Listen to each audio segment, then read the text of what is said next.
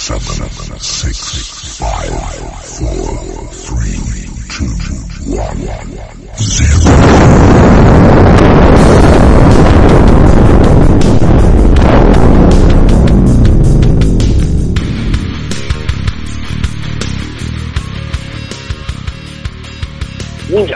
Ladies and gentlemen, the To Be Determined show. We are live beyond Ringside Radio Network. I'm the Orc of Ominous, the Architect of Intellect, and we have everybody on. This is going to be a hell of a shoe. Hell of a show indeed.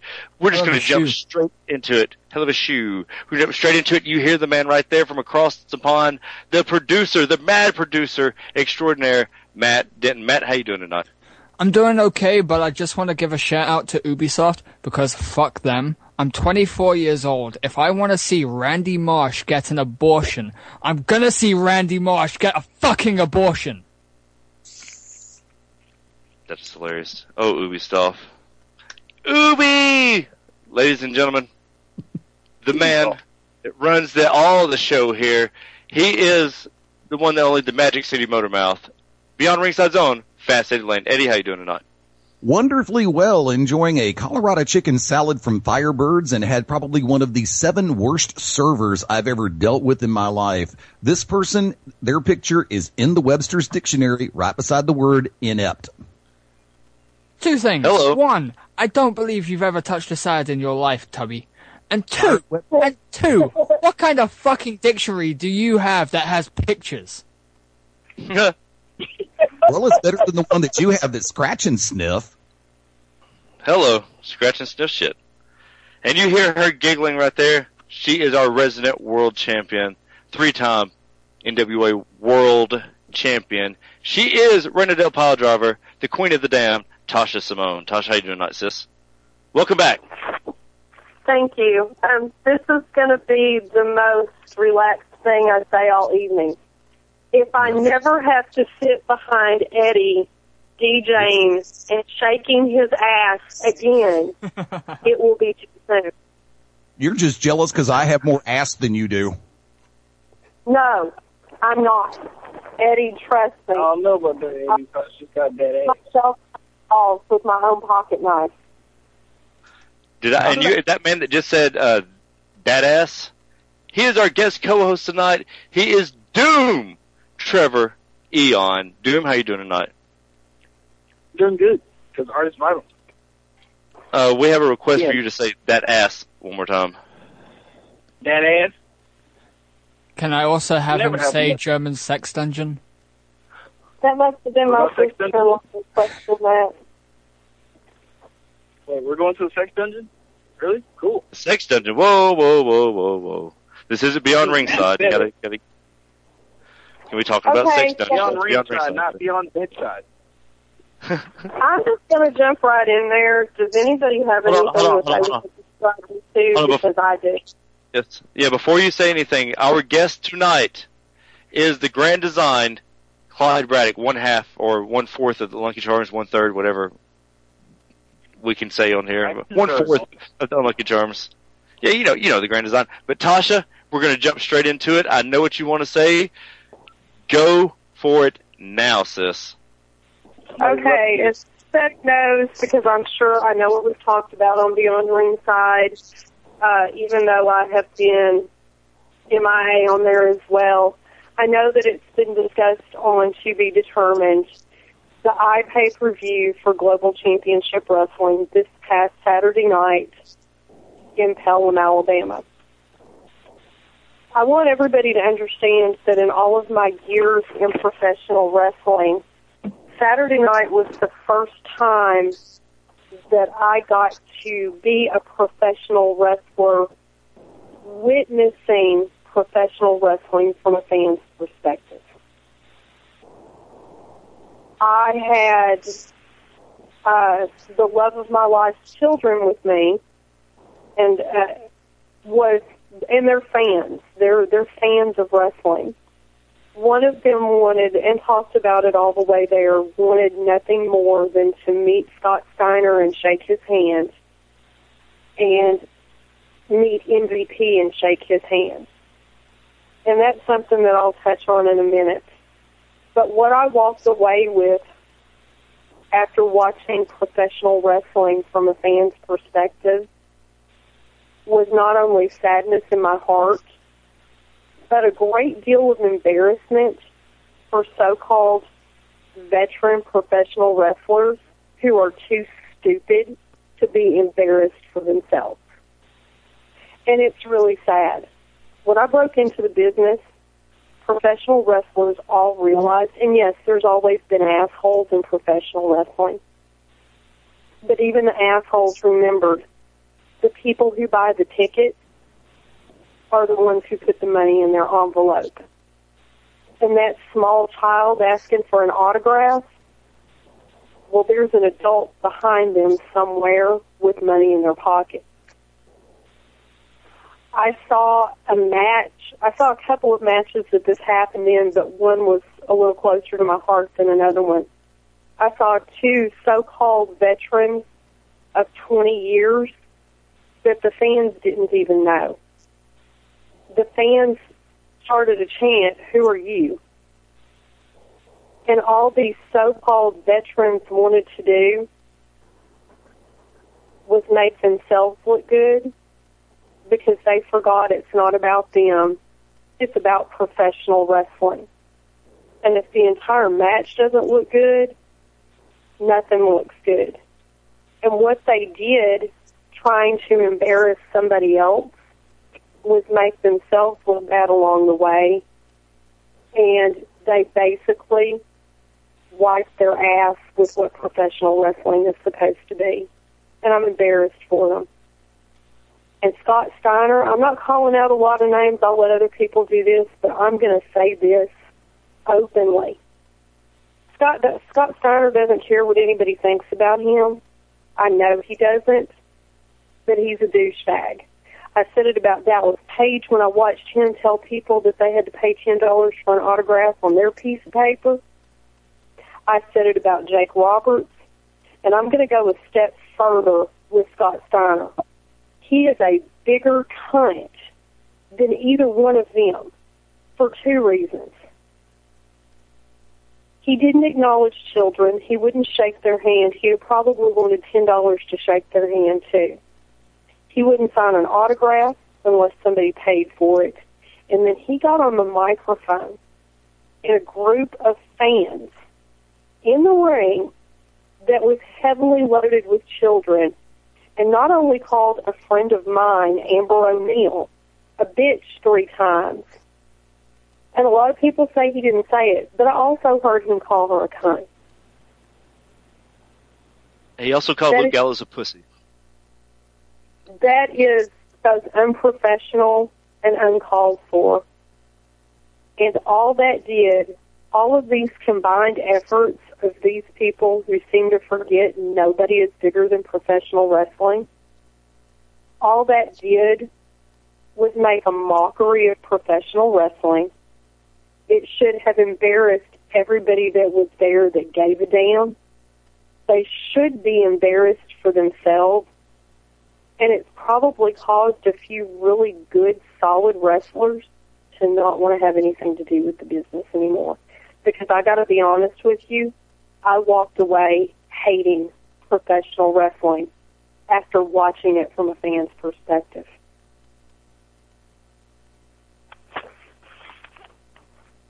And what you're saying is you you were actually able to maybe once is that the first time in your uh, entire time you've been in this business you got to see it from a fan standpoint?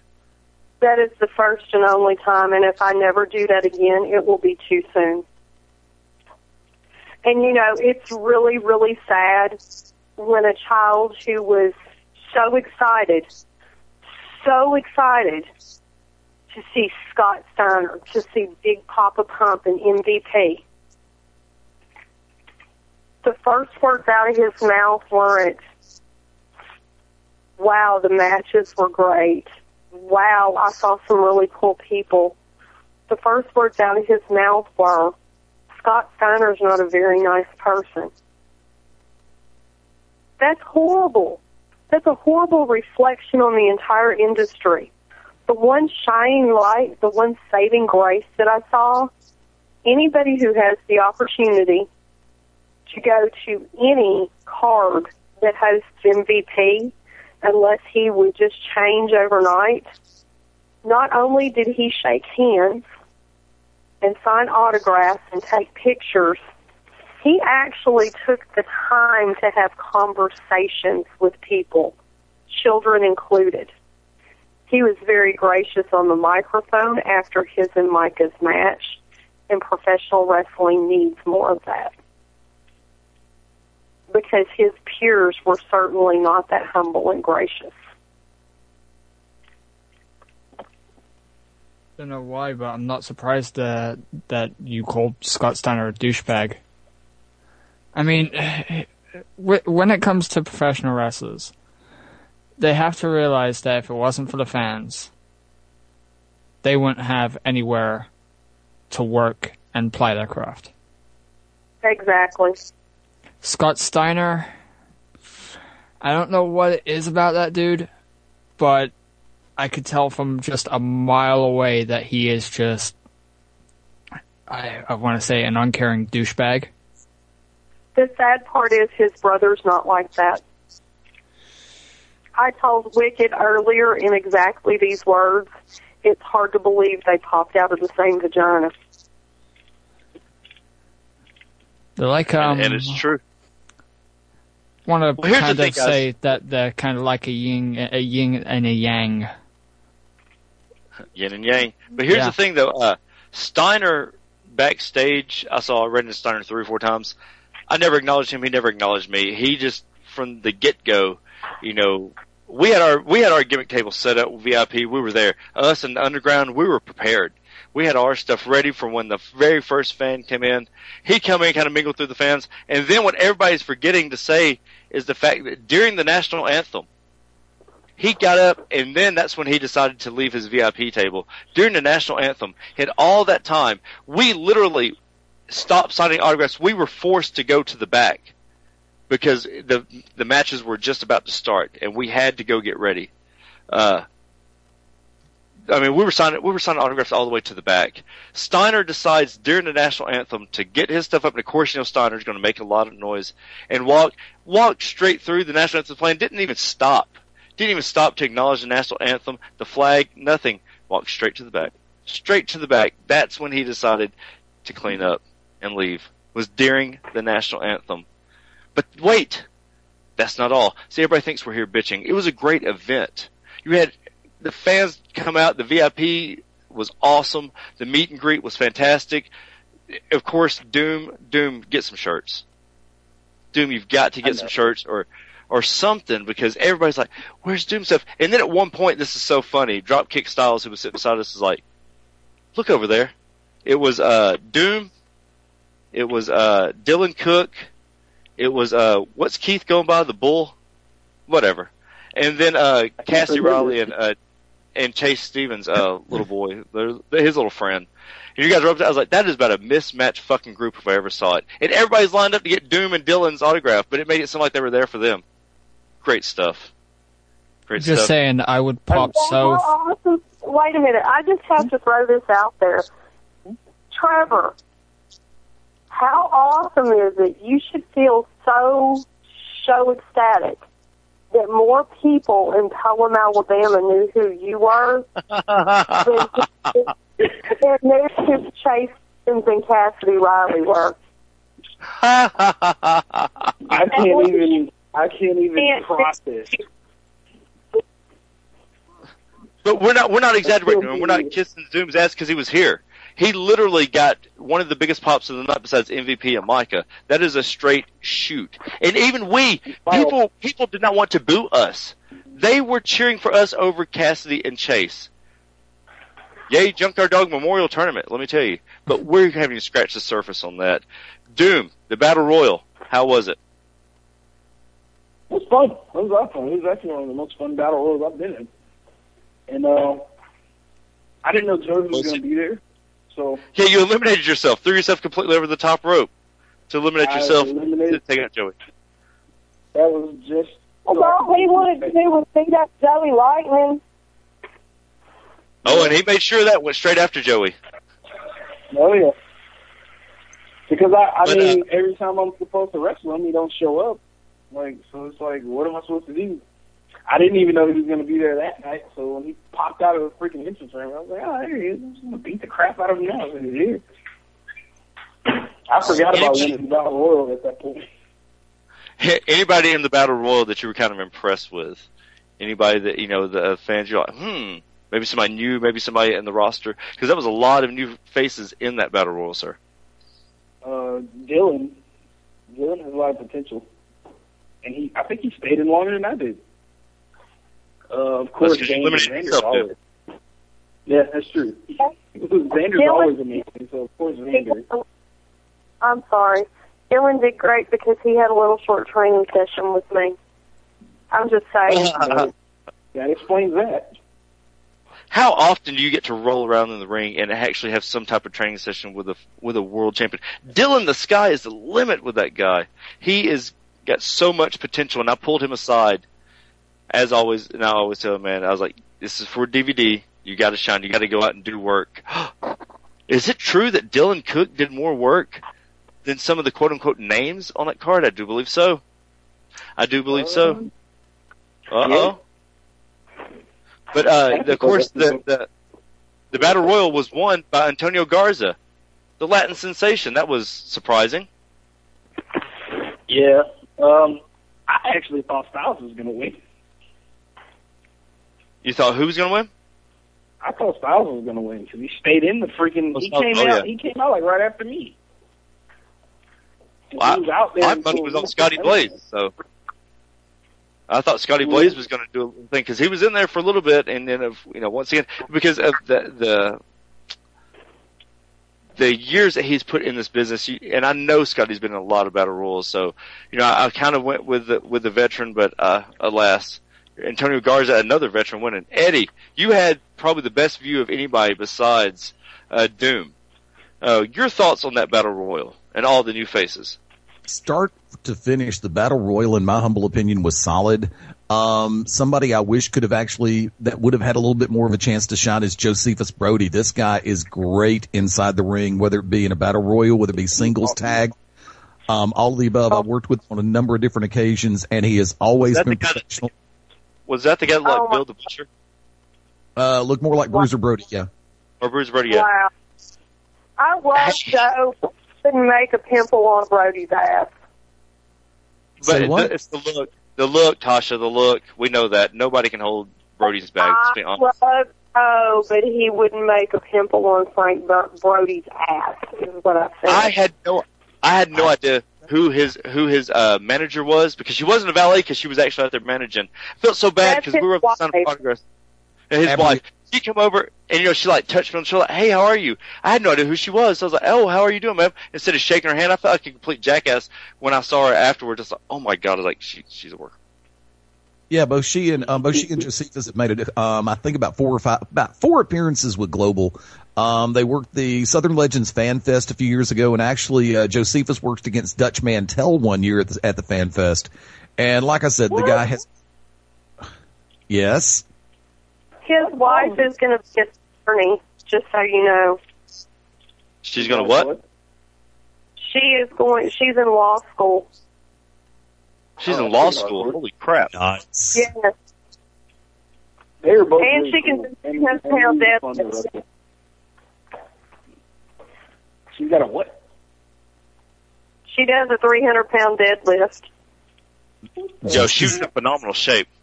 Yes. Yeah, she was. She was in great shape. But Eddie, back to the back to the battle royal. Uh, you were talking about uh, Josephus. Is his name? Yeah, Josephus, uh, Josephus Brody. We've also billed him before as Bruiser Brody Jr., but um, he's more commonly known in this time, um, about the last couple of years as Josephus Brody. Um, Dylan Cook, the the sky's the limit for this kid. I mean, he's got a good head on his shoulders. He is listening. He is watching. He is learning. And if he continues to do those three things, uh, pretty much in that order, open your eyes and you will see, open your ears and you will hear, and apply those two with your heart and you will learn and Dylan Cook is absolutely lighting it up. Um, I really kind of wish there could have been a little bit more. I, see, I would have liked to have seen uh, Trever and Joey Lightning one on one during the show, but with eight matches already on the card, um, I think Yeah. Trever and Joey, I think Trever and Joey could have possibly did, um, I'm not going to say a show stealing match, but I'm will damn sure say it will definitely get and keep their attention because that crowd Man. at the Pelham Civic Complex was hot and I loved it.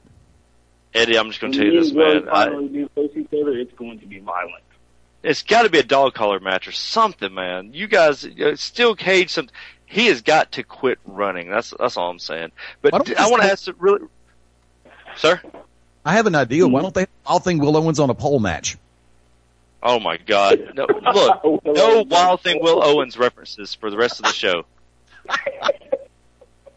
Tasha, you got to actually uh, spar with uh, Dylan, or you know, actually get in the ring with him for a second. Your thoughts on this kid? Because that's what he is. He's a kid. I think we lost her. We probably did lose Tasha. Her phone was fading in and out. Uh, Dil- now, Doom, Mhm. you eliminated yourself to take out Joey. Yeah. During the process, did Joey did Joey even get the ring? Yeah, Joey did get the ring, didn't he? Yeah. he got in the ring, but as soon as he got in, I jumped on him.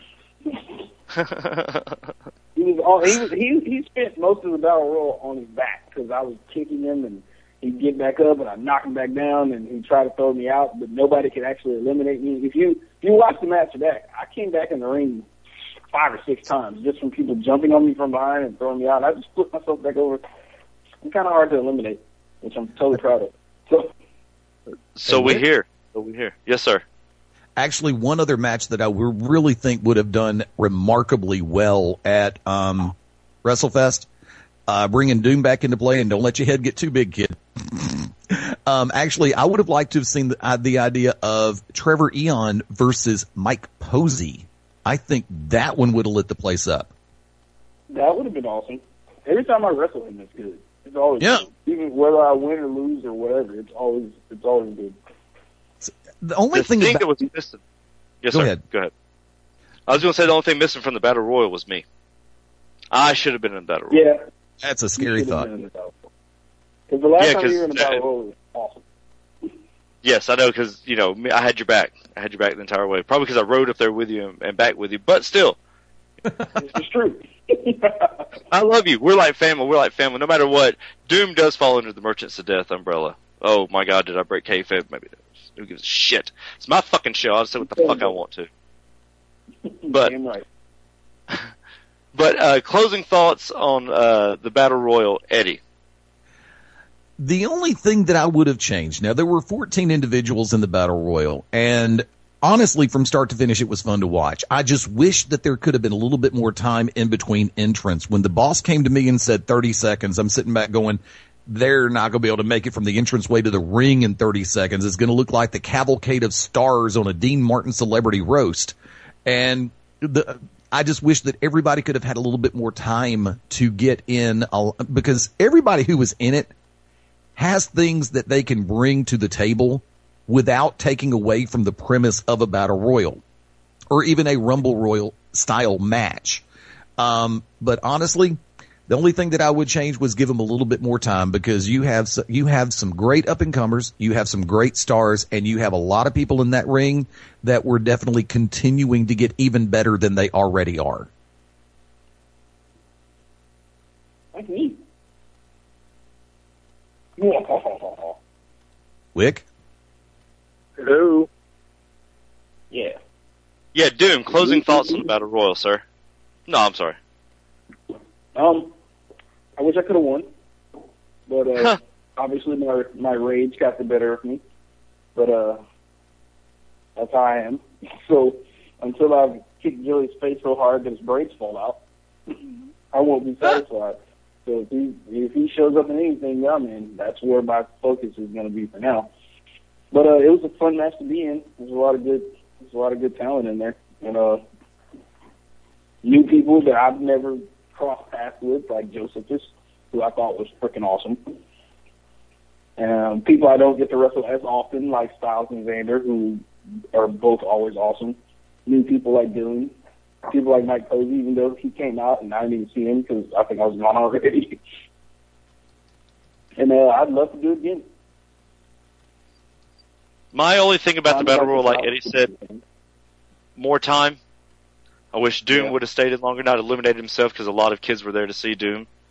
Uh, I always feel like that takes away from the fans, you know, 'cause, like fans like this is the only time I get to see Doom all month, and he just eliminated himself. Wow, mommy, Yeah. I want to go now. I want to go home now, mommy.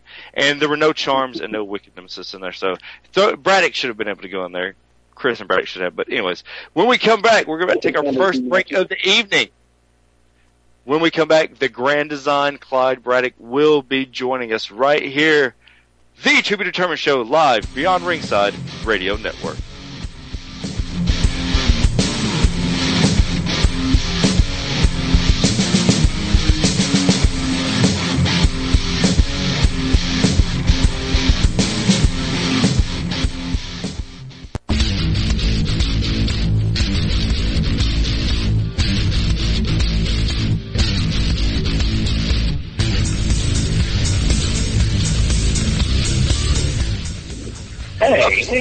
Becca? We are live and back on the To Be Determined Show beyond Ringside Radio Network. Fuck your tea. That is Doom. That is Doom making tea. That is Matt didn't say fuck your tea. And from England, I think the man knows a little bit about his tea. Fast Eddie Layne here as well. And we're joined by we're joined by our guest tonight, the Grand Design, one fourth of the Unlucky Charms, Clyde Braddock. Clyde, how you doing tonight, sir? I'm doing great, man. How about you guys? Doing fantastic. Obviously, Doom is getting a tray of ice. Yep. That sounds like no tea I've ever made. Jesus fucking Christ. Yeah, me hating on my tea, Shotty. But Clyde, uh, Did we're you? just gonna jump Why don't open, it. why, I swear I'm you, fucking taller than you. why don't you why don't you open your mouth and we'll make some tea real quick, okay? All right. Wow. Here we go. Clyde, this past Saturday, if you will, tell everyone your thoughts on what happened in the tag match. We know you have to be DC. You don't want to lose your, you know, quote unquote spot, but go right ahead, sir. Well, uh, this is this is how I look at it, okay? All right, what happened what happened with the hot shots was luck, okay? And one thing about luck is that it runs out. And the unlucky charms we never back down from a fight and you know what, anytime anytime that uh that they want another piece of us, they can bring they can bring it on because, you know, maybe maybe maybe I respected them a little bit too much, but next time it won't be so. I'll go in there and wrestle them just like I do everybody else. Now, I have told this, and I will say this. That is the last time that there is that total disregard and that total disrespect for any of us. I said this, and I want this to be loud as anybody can say. You quote me, whatever. Quote me, boy, because I'm about to say shit. The next time something like that happens, Clyde Braddock or Chris Knox is going to take whoever doesn't want to do work into the ring, into the middle of the ring, and tap them out. And I've been saying this. I I grabbed Clyde by his fucking kick pads. I said, Clyde, if you do not get in the fucking ring and do something, I'm going to take us out and we're going to get counted out. Clyde said, yes, sir. Clyde went in the ring, got he got tagged, went in, and Cassidy sandbagged him. And Clyde, the Grand Design, still hit a judo hip toss, a shoot judo hip toss on Cassidy, and Cassidy about shit him, himself. Did Cassidy say anything to you when you took him down besides please stop?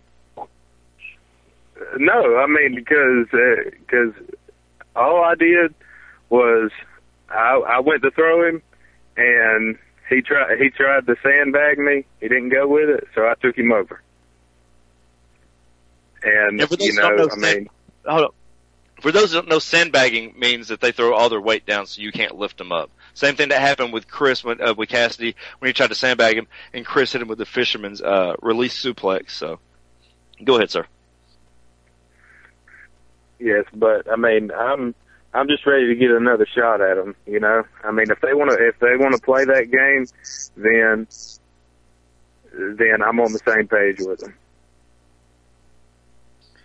But know? I mean, I had to ask I had to ask your thoughts on this because we just want to go ahead and get that out of the way because uh, you did show them a lot of respect. So did Chris. You guys showed him a lot of respect. Uh, you guys handled a lot better than I did, obviously. So, so with that being said, with that being said, uh, this Saturday you have quite the opportunity. Doom, our, our our brother Doom, who has you an opportunity at Empire Wrestling this Saturday in Rossville, Georgia. Now, we don't know who your opponent is, nor does it matter. What do you have to say to everyone that doesn't know who you are, that doesn't really know about your work, sir, and what's going to happen in Rossville, Georgia? Well, I'm I'm just gonna right off the bat say, whoever gets in the ring with me, they're getting thrown around. I don't care who it is, you're getting thrown around. You could be you could be 100 pounds or you could be 700 pounds. You're getting thrown all over the ring. I mean, you know, and and I got another thing to tell them: Full Metal Jacket. You're going to know what it is whenever you get hit with it because you're not getting back up. I promise you. I've been hit with it. You don't want to be hit with it. Because I've been hit with it. It hurts. Now your Russian neck drop that you do, or Russian uh, what what do you call it? Russian uh, body toss? It's uh, the reverse body throw. It was, uh, you know, made famous by Alexander Karelin. You know, it's a big move used in Greco-Roman wrestling, which I'm a huge fan of. You know, I mean, those guys really, you know, they really work hard, very, very, very hard. You know, to be in the Olympics and all that. But the the reverse body throw, I mean, he would just he would just kill people with it. They wouldn't. They there was no defense against it no matter how big they were in the Olympics. He would just toss them. I mean, he was undefeated. He was undefeated for 14 years. I mean, come on. And he hadn't been scored on in 10 years, and he was just devastating as a heavyweight wrestler. And I got that move from him, and if it worked for him, it's going to work for me. Now, uh, this is a big opportunity. It's very hard to get into Empire Wrestling. Uh, those guys are a very close knit uh, group. How do you feel being able to get such an opportunity that I mean they haven't let many outsiders, and that's what we are. We are outsiders. How do you feel about that? Uh, Andrew Alexander and these guys given opportunity, and big props to Doom for actually uh, getting the the connection with that. How do you feel being able to get such an opportunity that I mean they haven't let many outsiders, and that's what we are. We are outsiders. How do you feel about that? Uh, Andrew Alexander and these guys given opportunity, and big props to Doom for actually uh, getting the the connection with that. What I do. Yeah, I mean, I, Wrote it in the I chat. I I see that we lost Doom. All right. Sorry, I, I'm looking at the chat now. Sorry, we have production chat. Jesus Christ of Latter Day Saints. Pay attention. Clyde, Okay. Now, Clyde, Clyde, you have actually been in the ring with Doom. Uh, your thoughts on Doom and, and his fucking work ethic makes me sick. I'm just, Yeah, well, I mean, well, well, you know, I mean, he's a great, he's a great athlete. You know, I I prefer more wrestling, you know, than than punching. But you know, to each his own. I don't punch. I throw forearm strikes. Really? Yes, forearm strikes, forearm strikes, whatever you would like to call it, But they're really, really whatever you'd like to call it. Really? Prefer more wrestling. Do not forget your roots. I mean, they do they're Uh, wrestling on the market. how do you how do you challenge somebody Doom like Clyde that has the map prowess that he does? I mean, how do you counter that? You don't let him get. You don't let him get on the ground. Cause uh, last time, last time I wrestled him, once he grabbed me, that was it. He, he just like freaking Zangief from Street Fighter. He grabs you, that's happy. Oh, right there. stay away from that. Luckily, I'm freaking Sonic the Hedgehog, so. But, but I feel sorry for everybody who's not Sonic the Hedgehog, because uh, whoever he's the Empire, is, if I mean, you're not gonna wrestle him. You trying to out wrestle Clyde, you might as well be trying to stop a armored car with a daisy. But yeah, they're kind of screwed because uh, I mean, it, I run across a lot of people who did amateur wrestling or did some form of wrestling before now, where I was doing boxing and kickboxing. So it's, I just try to do the same thing with guys can freaking ground that I did with back in boxing and kickboxing. I try to keep them away from me. Try to use the fact that I actually got three long arms, three long legs for somebody my size to my advantage. And uh, those are, those palm strikes and elbow strikes and kicks and stuff, all that stuff comes in handy you can't get close to somebody. It's very you know how to use them far away. My legs were as long as freaking spirals, and I could really do some damage. Now, uh, Clyde, Clyde, how do you how do you counter somebody like Doom that is so prevalent with his kicks, that is such a kick artist? Uh, how do you counter with that in the ring?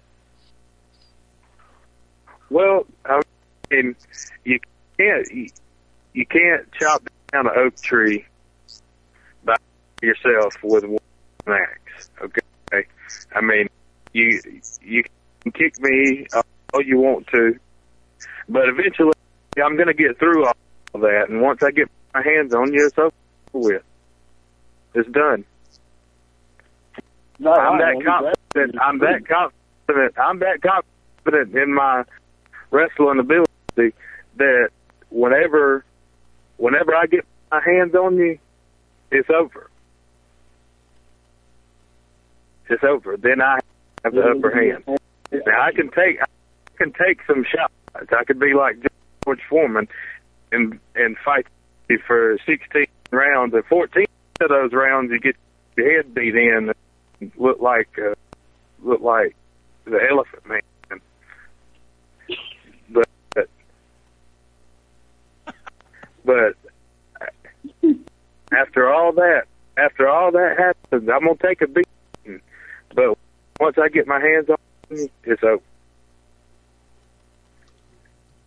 And he's right. A Nope. guy like like Clyde, that your only option is to try your best to knock him out. If you can't, once he gets past wherever you're doing, he's going to kill you. Matt, you have watched a lot of Matt. You have watched a lot of amateur wrestling, a lot of uh, uh, old school wrestlers, a lot of uh, especially out of England. Uh, your thoughts on somebody when you see uh, someone with a Matt Prowse and amateur background? Uh, do you prefer that, or do you prefer someone that uh, as Doom that has a kickboxing background that you know, can run, jump, uh, and is very prevalent with his uh, strikes. Uh, I can go either way. It depends. If you can throw a dude around, fan fantastic. I like to see dudes getting thrown like they're fucking babies or some shit. Throw a baby around. Don't care. Um, running, jumping, and kickboxing. I'm fine with that too. As long as somebody's getting hurt, I don't care. Ah, just beat the shit out of each other. There you go. Now, Eddie, you had a fantastic. I can't remember if we. I think it was last Wednesday when we were on air when we were doing our uh, our back and forth, our Smodcast version of uh, of the To Be Determined show. You made a, a very good remark about uh, Braddock. You said that I feel that Braddock being called the Grand Design was kind of a hefty, a weighty moniker to put on someone uh, so young in the business Right. after watching what happened this past Saturday, uh, your thoughts on that? Do you still feel the same way with Clyde, or do uh, do you think you still need to see a little bit more? Let me go ahead and run this for those who do not know. I want you to imagine a Humvee with the navigational capacity of a snowboard. You put that together and you have got the mobile status of Clyde Braddock. He's got the physical size and the stature, but he can move on a dime. If you think you've got him coming straight at you, you better think again because he can shift directions and hit you from the side faster than a 24 car pileup on I-285 in Atlanta. Not to mention the fact that he's got great amateur skills. Not to mention that he also brings additional skill sets and disciplines into the wrestling ring. Now, I did mean when I said that I felt that the grand design was a whole lot to put on his shoulders. But I've also been watching Clyde Braddock for a while. Because here's the thing. When you've got somebody who is still relatively young, I'm not going to say new, but I'm going to say young in the world of pro wrestling, for them to get that kind of accolade, that kind of I'm trying to think the easy way to say it. I don't want to use the word moniker, but I do want to say I think he is growing into it quite nicely. Did I answer your question or am I still running for Supreme Court office? That's that's, that's pretty good. Uh, I, I wouldn't say running. I'd say waddling in your case. Uh, no, just toddling very fast. just said running. That's pretty funny. Uh, waddling. Wah, wah, wah. Uh, Thank you, Burgess Meredith, my favorite one. uh, but you got to see uh, uh, Clyde this past Saturday. Uh, any anything you want to say to Clyde, maybe to help him out something that you saw? Uh, well, actually, we lost him off the liner. I, I definitely would. Uh, All right, there you go. but in all sincerity, I'll put And he's back. coolness. I will say this. Patience is a virtue in the world of professional wrestling when you're dealing with individuals that don't want to do business with you and you know that what they're, you know they're basically trying to BS you. The first instinct is, oh no, the hell you didn't.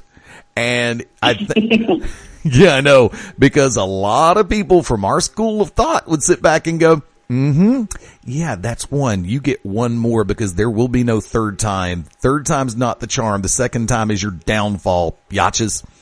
And I think, and I'm just going to go ahead and throw caution to the wind and, and yank the curtain straight to hell and back. I think you and Chris handled the situation admirably. I'm quite surprised that there probably weren't about 48 teeth lying around the front two to three rows because I think y'all showed tremendous restraint, great discipline, and a huge amount of professionalism coming out of this past Saturday night. There were lessons learned that people, unless they know what to look for, will never see. But I honestly think that you and Chris learned a hell of a lot about certain individuals this past Saturday night in Pelham, Alabama. My brother, my hat is off to you, and I mean that in the most sincere way that you have ever heard me speak.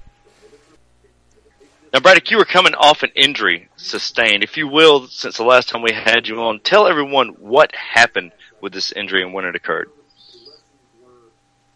Well, um, whenever I was, uh, I, I broke my foot, and uh, I was wrestling. Who was I wrestling? It's happened. It's happened a while ago. So, I believe Equalizer. No, it wasn't. It wasn't Equalizer. It was. uh uh, anyway, anyway, well, I went to uh, I went to splash him in the corner, and my foot got caught up under me somehow, and I broke my foot, and I had to have and I had to have surgery on it, and they put a screw in it and put the bones back together, like they should be. So it's working a hundred percent now. So I mean, it was it. I mean, it happened. It it's wrestling. You're gonna you're gonna get hurt in it. There's no way around it. So you know, all you can do is keep on keep on pushing through it.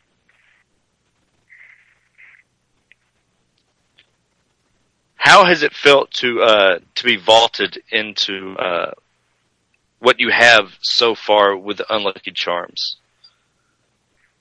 Well, it's a, it, to me, it's an honor and a privilege to to be able to be able to be with you guys, and uh, you know, I mean, I I really I, I feel bad about uh, Damon Taz that he, you know, that it, it's just time for for him to hand over the reins.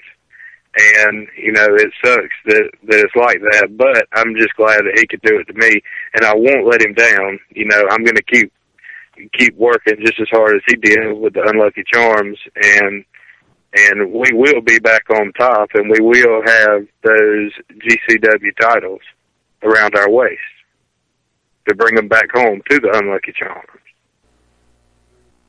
What does 2014 hold for Clyde Braddock? What are some of your For goals? me, well, I mean, first, first, I want us to get those those tag titles because I feel like that they're at home with the Unlucky Charms. I mean, watching watching those guys wrestle and them them having the tag titles and keeping them for a while and and all that, and them always going back to them, even if they do get caught off guard and they and they lose them, they get them back. So I feel like they're at home, and I want them to stay at home with the Unlucky Charms. So, you know, and I'm willing to I'm willing to do anything for that to happen. But that's the first on on my agenda, and you know whatever whatever the future holds with the Unlucky Charms, you know I'm going to be about you guys and you know do my best for you guys. Okay, the mask. Who made the mask and where did that design come from?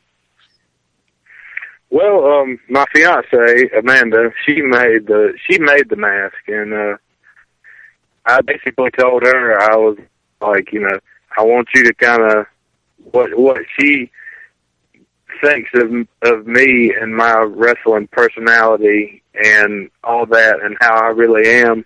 You know, sometimes on the inside, whenever I whenever I get in the ring, you know, even though even though I respect everyone and I and I give them the most respect even for stepping in the ring, but at that time, I hate them. They're they're going to go down. You know that I will be the last one standing in the middle of the ring. You know, and I try to do that every single time that I wrestle, and that's the hate on the front of it, and you know the the stitching like Frankenstein or or as you put it as you put it Braddockstein if you will. You know. I just uh I like you know, she put that and you know, I I gave her those ideas and she ran with it. And the hate on the forehead is, you know, the hate that I feel towards towards my opponent. You know, it's nothing it's nothing personal, but when you step in that ring, you're stepping in my home and my sanctuary. I 100% agree with that. I want to uh, say that. Uh, and I'm pretty sure Mike kind of drilled that into our heads when he was training us too. But uh, it doesn't matter. if It's your friend or whatever. There's only one first place. There's only one championship. Only one person to be champion at a time. So I don't care if you're my friend or not. Uh, you're standing in the way of what I want. So yeah, I hate you until the bell rings. Exactly.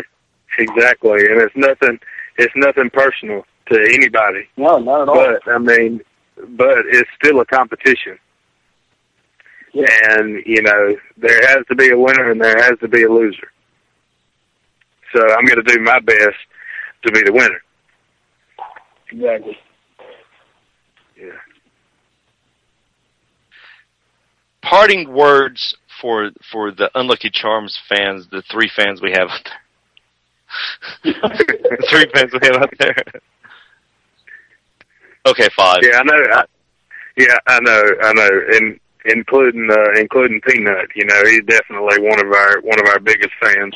I hope he I hope he Oh, listens to this. I I hope he listens to this because I hope he crapped his old pants whenever I whenever I raised my hand to him because he looked like he did. Okay. Holy crap! He ran, he jumped back five feet when Braddock all Brad did was raise his hand, and Peanut took off. I've never seen Peanut run before, but he did. Yeah, he never runs from anybody, but he like you scared the crap out of him. It was I don't think anybody knows how to take Braddock yet, is what it is. They're like, holy crap, this guy, you know, I mean, because when he come out, first of all, how everything was handled about you, you know, us coming out and everybody knowing who it was, yeah, that was kind of weird how that was handled. But, uh, you are in the fold. You are one of the unlucky charms, as you said. Luck runs out. Unluck is forever. Clyde, thank you for coming on with us tonight. We we do appreciate it, sir. Uh, how can everyone get in touch with you uh, for bookings and et cetera? We know you don't have any social media, but maybe Yes, I don't have maybe my manager. Hmm? Hmm? My manager. Yes, my manager. Wicked. Hey, there you go. Yeah, yeah. He's wanna on the line. There you go. I was wondering if you'd be like, you want bookings?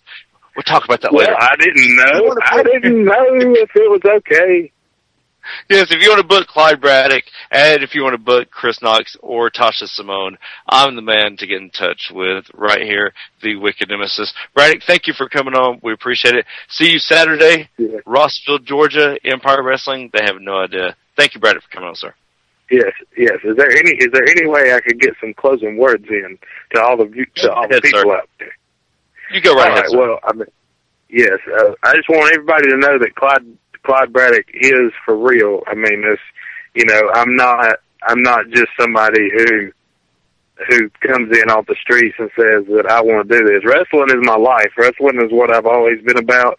I've always loved it since I was a little kid. So you just better be ready because now that I'm with the Unlucky Charms, that's going to give me the push that I need, and we're going to be unstoppable. So I'm just uh, I'm just giving you a fair warning that you better look. You. Ladies and gentlemen, the grand design, Clyde Braddock. We're about to take our next break of the evening. When we come back, we're going to go a little bit in depth with Doom Trever Aeon right here, the To Be Determined Show, Beyond Ringside Radio Network.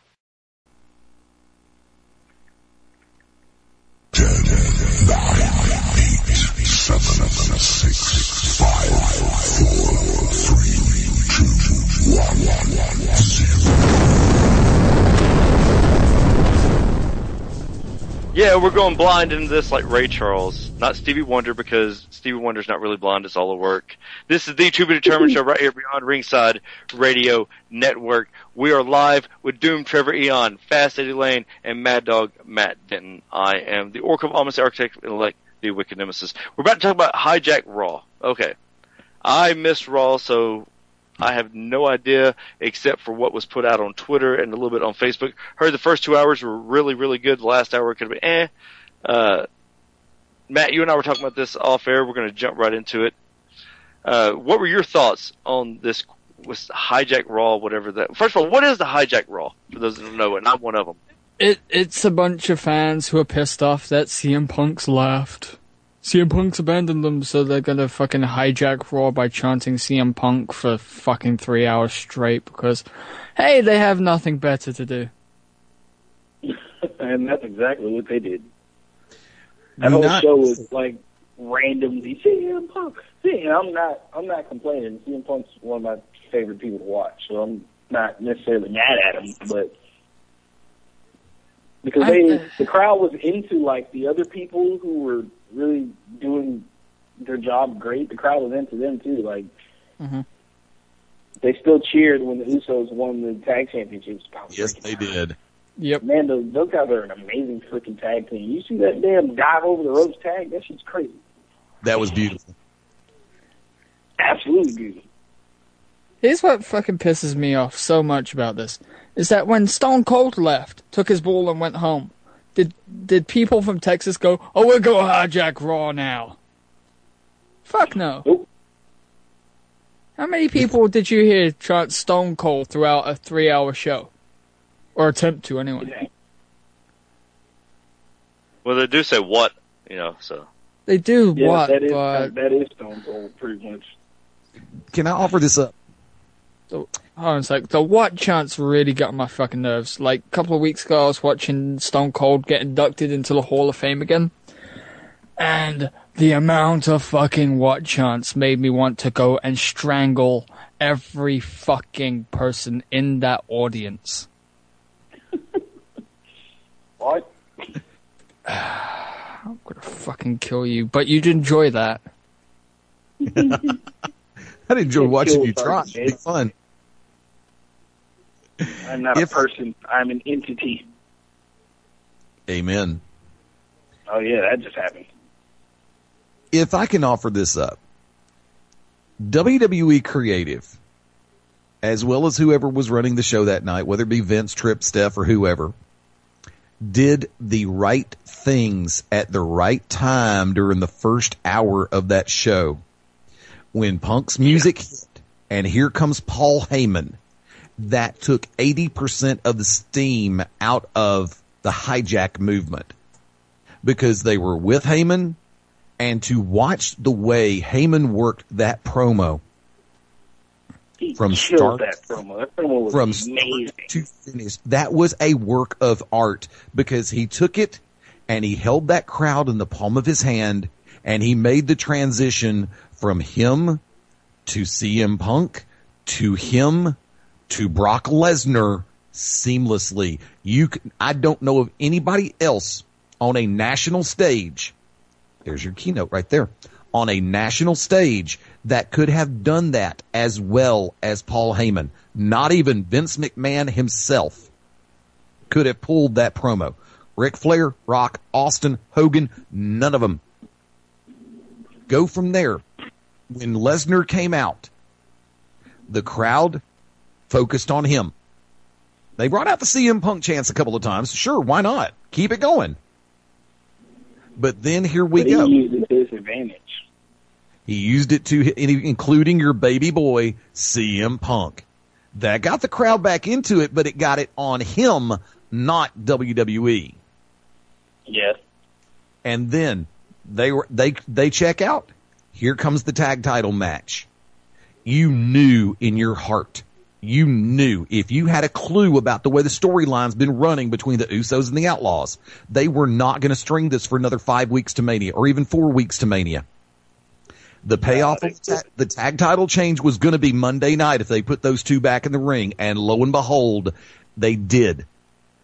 The crowd in Chicago got a title change. There's very few things that people will bitch about on a title change. It's like, hey, we got a tag title change in, our, in, in Chicago. We're good. That took even more steam out. You bring out Big Ian Cesaro for the Intercontinental title. Yeah. You knew it. You know that Langston's not dropping that belt yet, but you know that Cesaro is going to give you something to cheer about.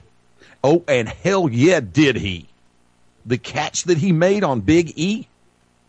Dude, God, and then he shifted him in midair. That Well, see, crazy. Okay, the catch and the first part of the shift was Cesaro. The second half of the shift, and you could see, was both Cesaro and Big E. They worked together on the final half of that shift. And the crowd respected that. But you go from there, you get Swagger jumping in, you got the DQ on Cesaro, Big E gets the win, the crowd's all over them. They're not all over WWE for CM Punk. And then here comes the Shield versus the Wyatt family. Armageddon's at it again. It took That's the crowd. doing one on one right there. It took the crowd and it kept them on the match. Oh my God, we got a tag title change. We got Cesaro showing us stuff we haven't seen in WWE for a while. Now we get the Shield versus the Wyatt family in Chicago? Who? What? Oh yeah, we're supposed to be pissed about something tonight, aren't we? Guess what? They took it right out from under them. The first 90 minutes of Raw was so perfectly placed. And then came the second half of the show, but by the second half of the show, that set the final 80 minutes, I'll say, when it was like TNA senior, that's when the crowd started to get back into it. But by that time, they had already been screamed out by the action that they had been given in the ring. Mm-hmm. WWE diffused that bomb perfectly. and I dare anybody to say otherwise. For the first for the first 100 minutes, seriously, yeah, yeah, yeah, yeah, first 100 minutes, they did it right. But for that last 80, that show sucked. Matthew, Mm-hmm. I know you watched it. Anything you'd like to um is have I have I said anything wrong to, about that? I'm just looking through the results because I can barely remember anything. But Well, um, yeah, Dude. I knew Daniel Bryan versus Batista was not going to amount to anything other than a beatdown of, of Daniel Bryan. And what they did, and reason why I said TNA Senior, is because of the simple fact of the way that they did the beatdown of Daniel Bryan. I mean, it reminded me of TNA for the last five effing weeks. I gotta agree with you there. Right, so right, right at the end, right. So Daniel Bryan got beat down and shit, and then they go off air. I tune in to WWE Network because I was able to get get a hold of the free trial, Right. and I see them send out the Big Show, and I could have just died laughing. Yeah, that's going to be a tag ti- uh, tag team match that's coming Friday night on SmackDown. It's already be, it's already in the can. Ev- well, yeah, but no, it's just the fact that everybody's expecting CM Punk because the the thought process of the IWC was the fact that they had CM Punk be mentioned was some kind of sign that oh CM Punk's back again, and then there's Dave Meltzer saying, eh, he's probably coming back, but Dave doesn't believe it, blah blah blah blah blah. But Meltzer- then they send they send out the Big Show of all Meltzer- fucking people. Like nobody's fucking business. Pardon my language. Say what? What was it? Meltzer got played like nobody's effing business. WWE's press department strung him perfectly. Here's the thing, though. Everybody says that Dave Meltzer said he, it was set in stone that CM Punk was coming back. He said no such thing. You're right, he didn't, but some of the other things that he said has, been, has coming back on him, from what I've been told. I don't read his column. I don't know. I don't pay for the Yeah, I Wrestling don't even- I don't know what you guys are talking about. I'm totally lost. Say it again, Trev. I'm totally lost. I don't even know what you guys are talking about. Dave Meltzer, Wrestling Observer. Oh, what did he do? Go ahead, Matt. Yeah, he, he he said stuff, and it's coming back to haunt him, and nobody really gives a shit apart from the people who still pay fourteen ninety nine. Was it a month Yeah. for a fucking for a bunch of podcasts that you can now get for free, and fucking news that you can get for free from other websites. See, the trick to this whole scenario is when when Big Show made his entrance at, um, after the camera stopped. Once again, the fans in Chicago started to get a little bit more ticked during that third hour. It's kind of like everybody watching the Royal Rumble, starting with position number 24. And I still say, right, Rey Mysterio didn't get booed because they don't like him. Rey Mysterio got booed at number 30 because he wasn't Daniel Bryan. Well, they played Rey the- Charles could Frank, fucking see that. screwed. They because pretty the much set him up for fail there. say again. They pretty much set him up for fail when he came out at number 30 and he wasn't Daniel Bryan. That could have been anybody. That could have been Stone Cold coming back and he would have got. No, if it'd been Austin, trust me, that crowd would have said who, because when you hear the the uh, they say we love you, Daniel Bryan, but we got Stone Cold. You can wait a minute. If the glass would have broken and Stone Cold Steve Austin would have come out number thirty in the Royal Rumble, the Earth would have moved. I'm surprised From that that- didn't even Rey Mysterio came out because he's like super popular. I don't think I've never hear people. And like, not so much anymore. Rey Mysterio's Really? fallen off. Rey was super over five years ago. Yeah. Rey's not super over now because he keeps getting hurt. He's hurt. He's going away. He'll be back in eight months. Okay, guess what? He's back again. When's he gonna? It's like how many times could the Big Show turn heel? Is he face or is he heel this week? It's lost its luster. It's lost its shine. It's lost its you know. It's lost its surprise. It's like, oh man, Big Show turned. Wait a minute, Big Show turned again. Oh shit, here we go again. Rey's hurt. Okay, when's he coming back?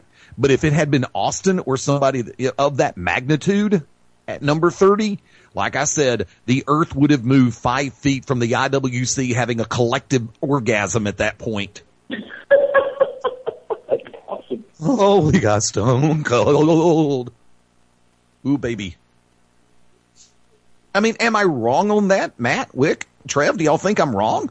If that's your fucking Um, O sound, then no wonder you're not getting laid. No, that's not my O sound. That's my sarcastic O sound. There's a difference. I, I think that's. didn't wanna I think know he's that, probably either like Stone Cold's probably one of the one of maybe two or three people that could have come out at that point and actually got not crapped on by the crowd. There are three people in my mind right now that could have come out number 30 and not been crapped on. One, Austin. Two, Taker. Three, Shane Yeah. McMahon. Yeah, no. Okay. I'm not the only person that thought Shane McMahon was actually a pretty good wrestler. I enjoyed watching him. He's, That's he was a damn workaholic. He wasn't so bad for a guy who was partly trained by Matt Hardy.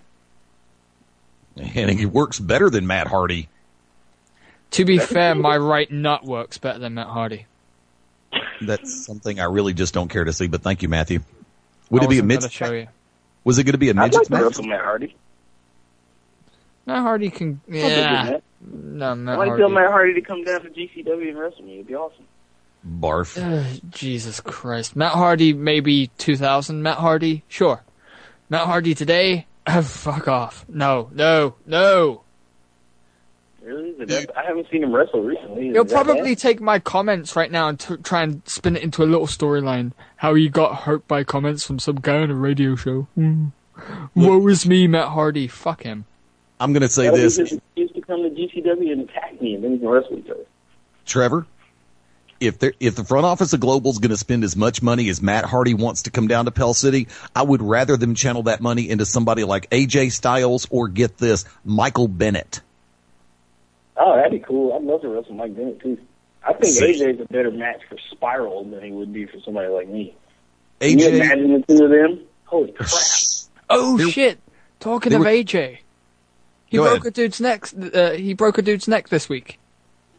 Oh, Oh, oh yeah. wait a minute. What happened? There was um, a match, I think, in Scotland. AJ Styles versus Lionheart, ooh, and um, Lionheart had his neck broken by the fucking typical Styles Clash botch. He didn't tuck his chin. he didn't relax his chin. He should have tucked his head back and not brought it forward. Yeah, that, that's Like- what I mean. He tucked Yeah. his chin, so he fucking snapped, bang, broke his neck. Got pile Yeah. drivers basically. Roderick Strong. basically. Roderick Strong, Stevie Richards, and I think Kazarian had that fucking.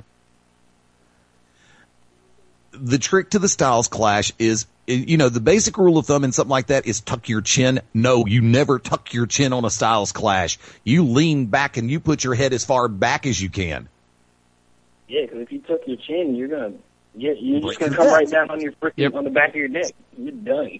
No you're going to come down you're going to tuck your head under your neck is what you're going to do if you come down tucking your face forward rock your head back Yeah, that's that's terrifying. yeah i saw i mean i've still got the uh, roderick strong aj styles match on dvr and I felt so bad for Rod, but the thing about it is he's taken the Styles Clash a hundred times. He should know that by now. It's one of those heat of the moment things that just kind of happen sometimes, I guess. Unless it was supposed to be a false finish and they turned around and um, Roderick was supposed to bow out of it underneath before AJ could jump forward, but AJ had already jumped forward and Roderick was bringing his face forward. It's like, oh crap, this is not it. Damn. Dude, I hope he's okay. At that point, there's nothing you can do but just take the move and hope for the best. Pray. I'm having a look at the uh, Roderick Strong bit now, because I haven't seen it. Oh yeah. I watched that like five or six times. They showed it this past Saturday night on uh, Ring of Honor television in our home market, uh, UPN 68. Yeah. Here we go. Step over, step over. Oh, shit. Yeah, that's what happened. Oh, Jesus Christ. his reaction was Where's John priceless. Zandig where you fucking need him? No kidding. Jesus. I mean, the next worst thing to that right there that pops into my head, other than Sid and the leg break, is the first time that somebody painfully, painfully botched the backflip coming out of the Doomsday device in 1986 on Crockett TV. Oh I- no, not the not the backflip off the shoulders. Oh, Yeah, the doomsday device. Because remember, not only is Hawk going to throw, I mean, not only is Animal going to push you up and back, not only is Hawk going to try to guide you a little bit, but you have to launch your happy ass to where you can go ahead and get to that layout position instead of coming down on the square of your shoulders. I think, um, it wasn't Mike Boyette that did it. It was. Oh, dude, and that reminded me of another one. Uh, UWF 1986, Savannah Jack Marshall or Savannah da- uh, Jack was facing uh, um, the California hippie Mike Boyette. Um, Jack came in for a deep underhook arm drag, and apparently Boyette lost his footing when he was trying to go forward, and Jack kept pulling. Boyette came down on the side of his neck, going down, and did not move for a full segment. That's brutal. Yeah, I know. That's still brutal. I think that would be Well- the origin of Botchamania. The one that We all I can agree on one thing. The one that I was pile driver. remembering just now was when Marty Garner took the pedigree for the first time. Yes, Ooh, that was Oh nasty. yeah. yeah. From what I Face heard, first. it was like he was trying to. T- it wasn't even face first. He went top of the head first, but it was Yeah. like Well, he- yeah, that's what. He, well, he tucked his chin on that, and it, he, he hit the back of his head almost like a. I don't know. Uh, you could. That's one of the few things I think you can still see on uh on YouTube. It's Yeah. on. It's definitely on one of those botch, like one of the first botch videos I ever saw. oh yeah. Uh, that was the very first one. I, from but, what I uh, remember, he he was supposed. He thought he was taking the Tiger Driver or some shit. Yeah. So it was like he he turned himself into a fucking lawn dart. That's what he fucking did. It's kind of like when you take the tombstone from Undertaker. Nose to nuts, damn it. Well, look, there's one Yeah. person. uh, She's not here at the moment. Tasha. Tasha's pile driver. She is one of the nastiest pile drivers I've ever seen. Uh, that is a move that just, even the slightest bit of hesitance, even the slightest bit of off, can totally end your life as you know it, as we have all seen by uh, several oh, people. yeah. get to that. All I'm saying for the Undertaker's tombstone, if you can't smell Michelle McCool on Undertaker, then you're too far down. Nose to nuts. Let's can't go- believe he just said that. What? Nose to nuts? That's what it is on Taker's No, pile on the but- tombstone. pouch? Huh? Oh, I can't- No, the Michelle under- McCool? No, the Michelle McCool, the Undertaker. Oh, that was funny as hell. That was beautiful. Yeah, but I want the Undertaker kicking my ass. and if you go a little bit lower, you can smell Layla. Oh, hello, Whoa. Doom. Uh, Whoa. What? What? Doom? Is there any move that you that you won't take besides uh, the Unlucky Charms uh, top of the morning? Crazy unstoppable death move that you guys told me about. Uh, Dude, people. Uh, Xander took it. Well, you know, I when, when totally we were missed training. I'm mad I didn't get to see it. But Xander's like the he's amazing. you could probably hit Xander with a thunderbolt or lightning bolt straight out of the sky, and he would pop back up and be like, "Oh, that's all you got? You." Xander would. Seriously, is there Xander any move that uh, you're that you're kind of scared to take, or you refuse to take, or hesitant to take? I got one. Um, not necessarily. I'm very wary of pile drivers. Thank you. So if you're not like, if you're not like Mike, because I know Mike uses the cradle pile driver for a finisher. If you're not Mike, or some, or just somebody who's just been doing it forever, and I like feel like I can trust you, there's a good chance that I'm gonna ask to just, can we do something else? Like I, like Shane Williams gave me a pile driver. It was super safe and awesome, and it looked good. So I was like, cool. But I have not had one since then. That was man, that was my that was almost two years ago. But everything else, I'm I'm pretty cool with usually. I'm I always kind of take it person to person, so it depends on who I'm wrestling. Because a lot of like a lot of stuff, I had never taken the German suplex before before I wrestled Mike, but he's he's like best wrestler on earth. So I was I wasn't worried, and he's my trainer, so I was, wasn't worried at all. But if he was just like one of those guys, you know, like the indie guys out here who are hitting big moves after big moves on each other every thirty seconds, those guys hit moves like that, and it, it just yeah, I I don't trust them like that.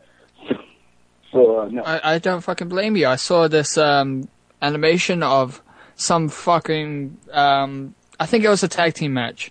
Some dude had a guy on the apron for a tombstone. Jumps off. His tag team partner's on the top rope, and at the same time leaps off with a fucking double stomp through a table. But you're over. See, that's what I'm saying. Like that's ridiculous. That's you're overdoing it. That's not even like. It goes. That goes far beyond. You're trying to kill somebody doing something like Exactly. that. And this is. We don't get a second take. There is no, you know, stunt doubles or nothing like that in wrestling. So you can't. You gotta be wary of. You just, you want to win the match. You don't want to kill the guy. Here- Here's two things. Sure, One, okay. they're probably gonna get paid twenty bucks for that, Yeah. and and two, Yeah. if they really want to make it to WWE, they know that you don't see some kind of stupid fucking stunt like that on WWE TV.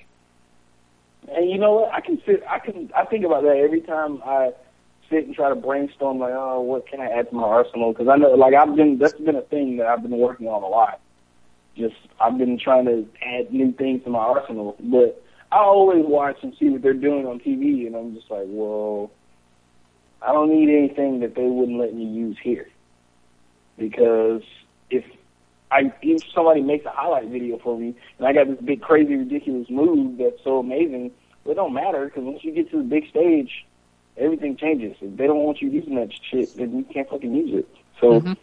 I try. I just try not to have anything in my arsenal that I know that they would look at me like, "Why the fuck would you do that?" That's just wishful thinking on my part and hoping for my future that that's where that's where my career goes. So I'm I'm always making reference to it. I'm always er- in everything I do. I'm always like, well, how does that how would that affect me if I was here or here? I, that's probably just how I am. But definitely like crazy moves, you don't need them. You don't need a double backflip. You can backflip one time. You don't need a seven hundred fifty thousand splash. The four fifty is enough. Like just Well, here, here's the thing. Here- Here's the thing. Like for various pile drivers, of course, you can't use NWD unless you're the Undertaker or something, or if you're going CM Punk off the fucking rails or some shit. But it Yeah. seems like um, WWE likes the kind of spectacular but safe, flippy shit, like Adrian Evan. Neville in NXT with the corkscrew s- shooting star press. Sure, it's unnecessary, Yeah. but it's pretty as fucking hell. Evan but Bourne. he's the only one that does Evan- it. These guys Evan- out here, they're all doing it. It's true. Like all of them. The entire card is guys who do that. And they do all that, and then we got Spiral at GCW, whose splash is not a flipping crazy splash, and it looks ten times better and ten times more devastating than all their crazy flips. So it's just like you guys go out and do all this, and then this guy comes out and does this splash, and there's no flips or anything, and it still looks way better than yours. It's time to reevaluate what you do.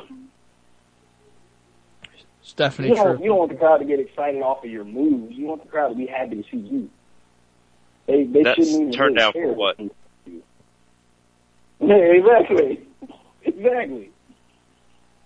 That's exactly. Turn down for what? We're about to take our last break of the evening. When we come back, we're going to talk to Doom a little bit more, and we're going to discuss Empire this weekend when we're seeing Red again, of course. The To Be Determined show live beyond Ringside Radio Network.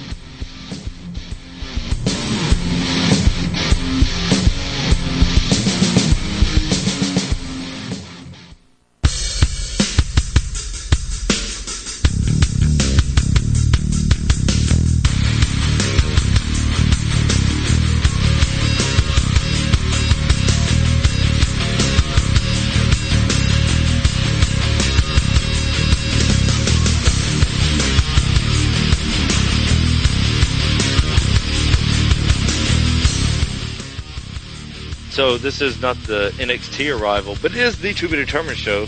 We are live beyond Ringside Radio Network. Fuck Brian Christopher. Oh, and by the way, uh, one of my favorite tweets of the week was uh, Buff Bagwell shouldn't have been a gigolo. He should have been a juggalo. I love that. Oh, apparently he's now one of the top three escorts for that fucking particular service. What power to him. One of the top three. He's a perfect stranger. No, I t- I, I, Yeah, I'm surprised mine, that, that whenever they call up the fucking escort service, they don't put him through to Buff's mom. And actually, that's the handsome It's- stranger, Wick. You have to go through Buff's mom, and it's the handsome stranger, not the perfect stranger, whatever. Yeah, global I got it right this morning.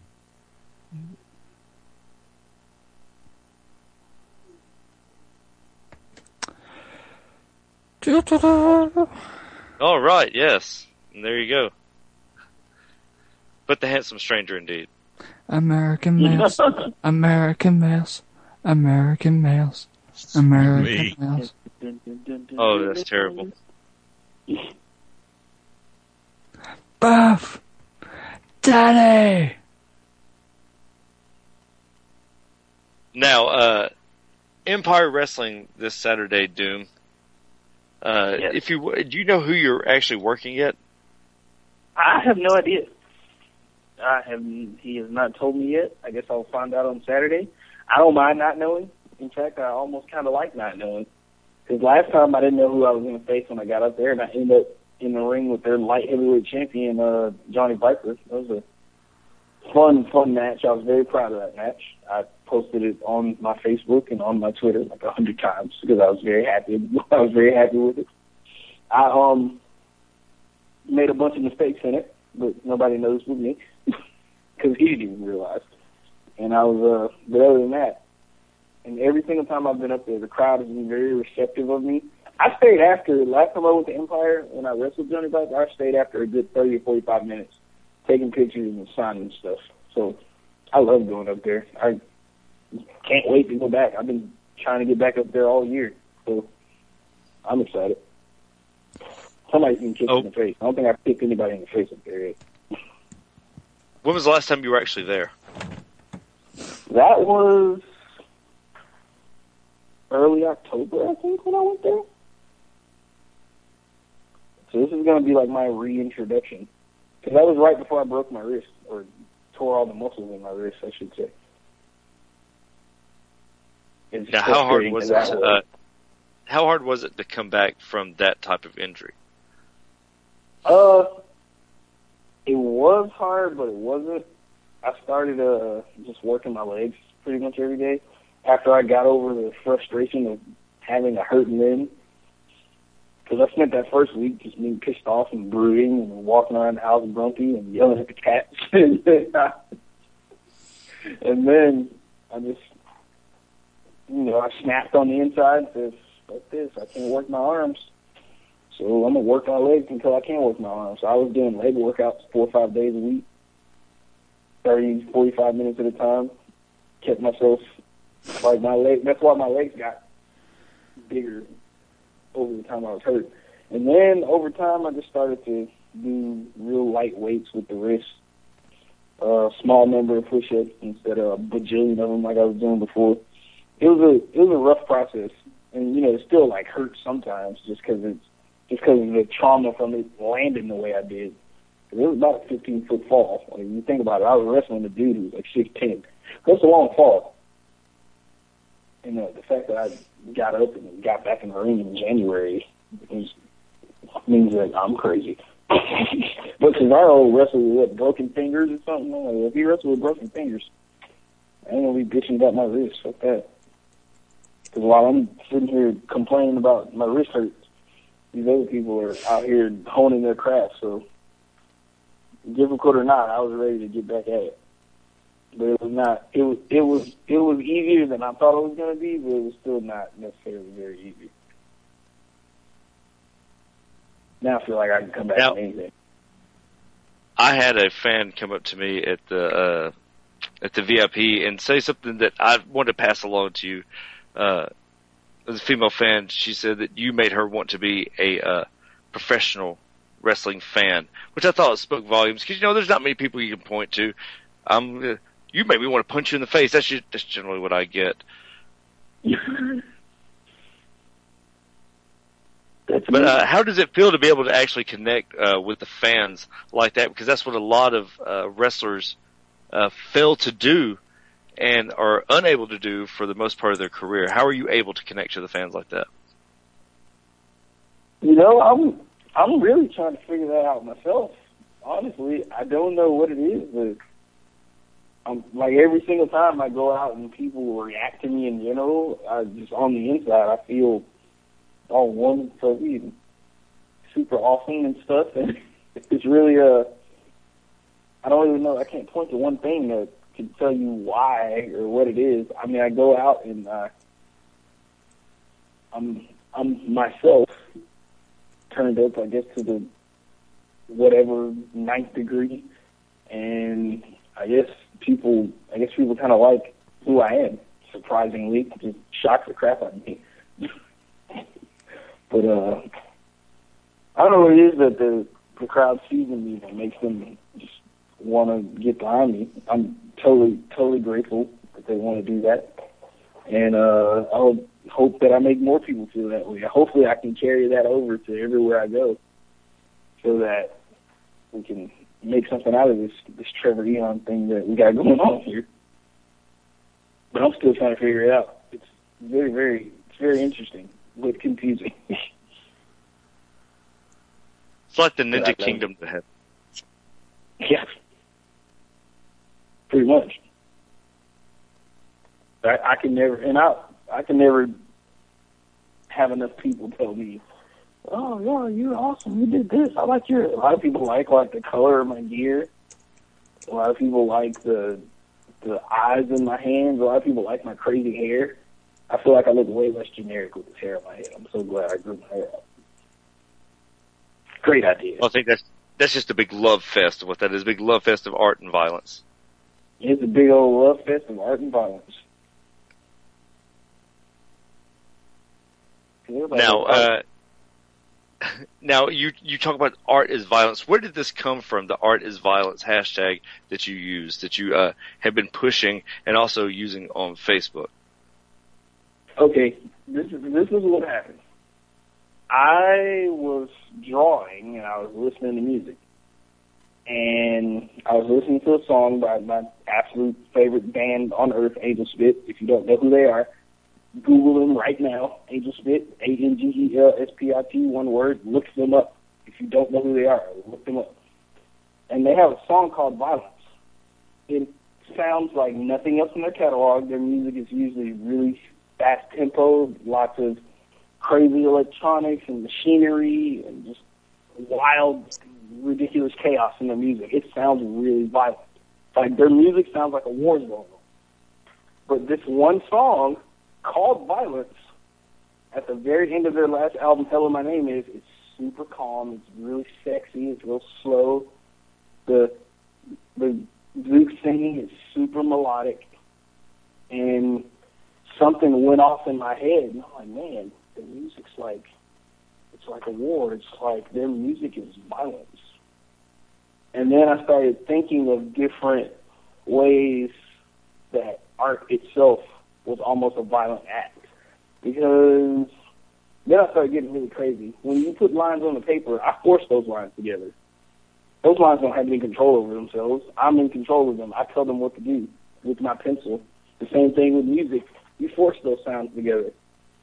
They don't sentiently come to life and choose to be together. It's coercion. It's just like violence. And eventually I came up with the slogan, art is violence.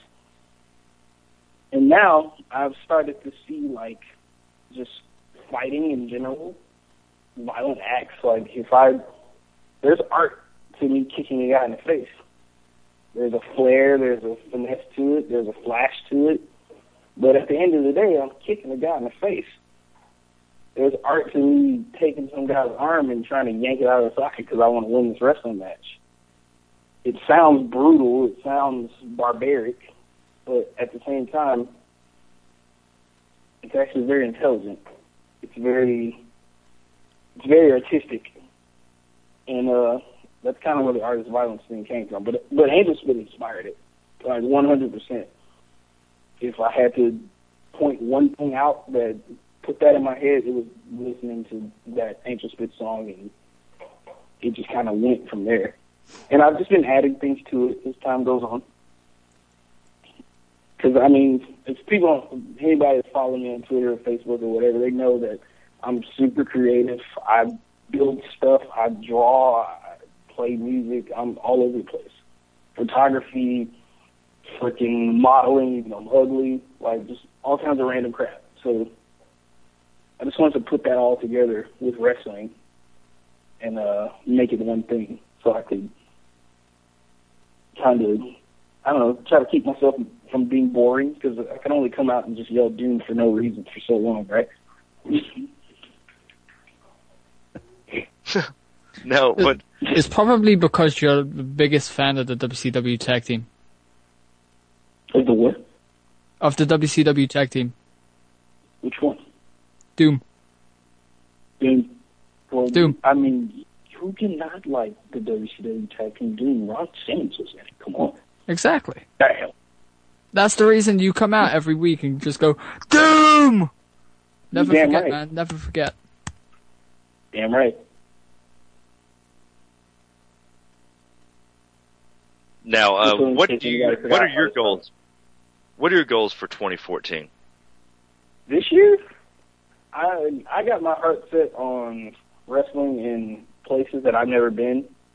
Florida and like the northeastern, north North northeastern, Florida, California, and the northeastern states are my main like focuses. That's where I want to go this year. I just want to come out and say, "Oh, I want to wrestle for New Japan, wrestle WWE." Yeah, yeah, I do. Like right now, if they called me right now, I'd be gone. But since I'm since uh I'm not gonna jump too far ahead into the future and pretend like I can pull that shit off overnight. So small term small term goals right now. I definitely want to get to states I haven't been to, but California, Florida, and like New York and that whole area. Those are my main. Those are my main focuses. That's what I really want to do before this year's over. So as many people as in as many places as possible will know my name. And I'm going to start doing. I'm going to start doing videos where I talk about a lot of this stuff soon. I just haven't done it yet because I had to find a good location and a good camera. But I have those things now. So in like a week or so, I'll, things will start popping up. I I keep very busy. But those are my Are you saying like a? My Are you saying like a vlog? Uh, you gonna start a necessarily vlog? vlog. That's a- No. I mean, It'll just be uh, it'll kind of be just me talking about whatever I got going on. Like if I got a thing going on with Joey, I might have something to say about it. I'll start recording it instead of just typing it on Facebook, or instead of just tweeting Joey artist violence. I'm gonna turn you into a song on this album of your device. Blah blah blah. I'm gonna start. I'm gonna start being a little more verbal than just. Cause I don't feel like I get to talk enough but I feel like I want to talk more. So instead of waiting to go to a wrestling event and see if the promoter's to tell me, hey, you might have time to talk tonight, instead of doing that, I'm just gonna I'm gonna record it myself, and whatever company I'm working for, I'll just put it on their Facebook profile, so all the fans that are to be at the show they can all see it. Trying to get some more attention. This is what I'm doing here people need to pay attention to Trever Aeon. I work hard. I want to be good at what I do. I want more people to see what I do. now you had the honor of being a part of uh, Beyond Wrestling not too long ago over in Atlanta at WWA four. Uh, tell us about that, if you will, because that's that's pretty much art or artistic, anyways, wrestling. Yeah, that was awesome. Was absolutely amazing. I um I got to see and talk to a lot of people who I've either wanted to meet or had met before, and just didn't have a lot of time to sit and talk with them. I got to watch friends of mine work like Darkmon and uh Fred Yehi, who I just wrestled last Friday, who I'm wrestling this Friday in Columbus actually. And uh I actually wrestled a girl. Uh, she's the, I think she, yeah, she's the AIWF Women's Champion right now. Her name's Devin Nicole. She's awesome. She came to GCW once, but she hasn't been back since. But she's uh, she's a lot of fun to wrestle, and she's super, super duper cool. she beat me up. She dropped kicked me in the face. It hurt. She But, uh, your yeah, she kicked my face. But uh, just the whole everybody was everybody was super friendly. Guys were the Beyond Wrestling like taping experience. It's a really, really, it's a really, really cool experience, and having your peers watch you watch you work and having them react like fans is I think that's a that makes me feel really good as a wrestler. And me and Devin definitely got that with our match. Like it was one thing for guys to like pop about people's cool moves because there, believe me, there were a lot of cool moves that night. And my match, we didn't do all that. I was wrestling a girl. We can't we can't do all this ridiculous crap. But our match had like the reaction as if those guys weren't wrestlers. It was almost like they were fans. And she noticed it too. And just that is just in, in it, it's an indescribable feeling really. And then watching all these other people who've been wrestling longer than me, who know more than I do, who would freaking probably kill me in the ring, like wrestle circles around me. So I'm humble enough to say that somebody can wrestle better than me. I'm not I don't have much of an ego. Uh, attention professional wrestling world. You guys can learn from that. No ego. anyway, got to got to have people have people who know more than me critique what I was doing. Like Aaron Epic gave me a lot of information afterwards. He's freaking cool. Shirley Duncanton's freaking cool. Uh, Black Baron, the guy who asked me to be on the show to begin with, he's freaking awesome. And him and Matt Cage tore the damn house down at the end of the show. Tore the damn house down. Got to meet and watch AR Fox work again. He, I don't even know how he does the stuff he does. I'm honest with you. But it was, it's an awesome experience. I recommend like anybody who's a, in any region who's a pro wrestler, if you or if you think you can keep up with those guys, you definitely should try and freaking just go to Beyond Wrestling. And even if you don't get to, even if you don't get to work, just watch everybody else and just take in the atmosphere. Because it's an amazing atmosphere. And you know, me being a big art nerd, and I was like, oh, this is crazy, crazy. It was like, Is there anything you actually? Is there anything you learned from that uh, experience? Um, hmm, what did I learn in specifics? I learned, and this is just from watching everybody else, that it's. I think I picked up on maybe how to pace my match different from everybody else's. I kind of learned like that whole where you are on the card kind of affects how your match should be. That's what I picked up on from that because a lot of guys, a lot of people's matches were like knockdown, drag out, slugfest of death. But on a regular show, that's not really going to work. You'll burn your crowd out like in five minutes. If your first match, is just like your main event. And I, I may have picked up a, I may have picked up one or two moves while I was there as well. I I'm not admitting to that. I came up with everything I do. Darn it. I don't steal moves. I'm just kidding. Um, I disagree. Chris Jericho invented everything, by the way. Yeah, that's true. So whatever I do, I stole it from Jericho anyway. I learned how to, I learned even more so how to slow down, especially because of the kind of match that I was in. I I pretty much worked a totally different style. Like if you see the match, like I didn't even do anything during that match. I was so like, I was half nervous, half overly focused, half worried. Like, oh, I don't want to do this, I don't want to do that. Luckily, everything went well. So just little stuff like that, and then uh, who was it? I think it was Ethan Case. Who told me about this is, and this is one thing I learned directly from somebody saying directly to me is just being more vocal. It's another thing that I've always needed to work on is being louder. I'm loud as crap before the match starts, and then during the match, I, sometimes I just I forget. I'm like, oh wait, I need to keep that loudness on the whole time. So little things like that. Very, very. I'm once again like super, super, super thankful to Black Baron for asking me to be a part of that. Hopefully they do it again, and I get to be a part of it again. By then I'll be an even better wrestler than I was when that happened because I get better every day. Somehow, whether it's from the gym or studying too much, but every day. That's all I do. That's all I think about. Awesome, awesome experience. Everyone should do it. Every everybody that's a pro wrestler that's worth something should should try and get a spot in Beyond Wrestling. You can tell them I said that.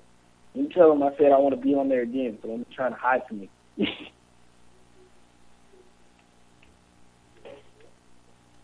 Now, uh, Matt, before we uh, take this home, you and I discussed something that happened in TNA off air, uh, a title change.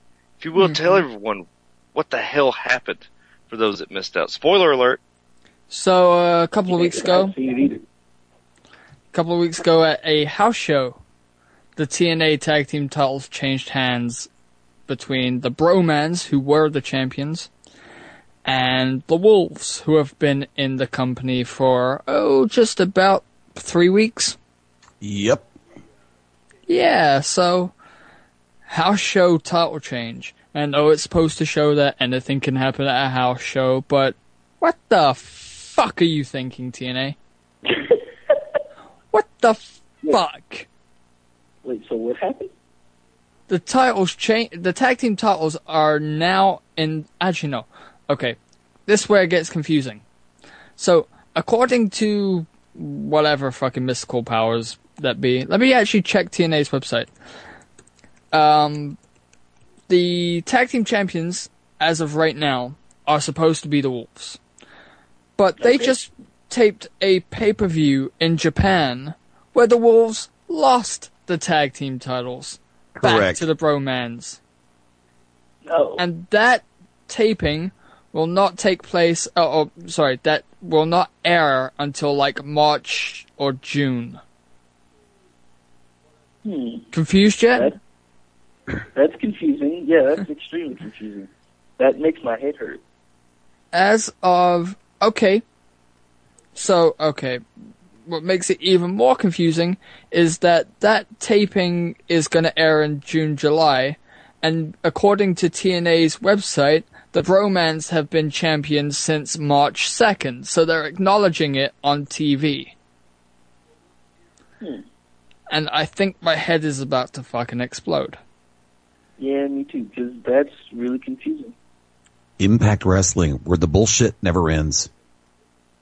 Wait a minute. Does that mean that they're actually going to have them lose the title again? But we're like, oh well, this is the one they lost the title again. When really it's the one they lost before.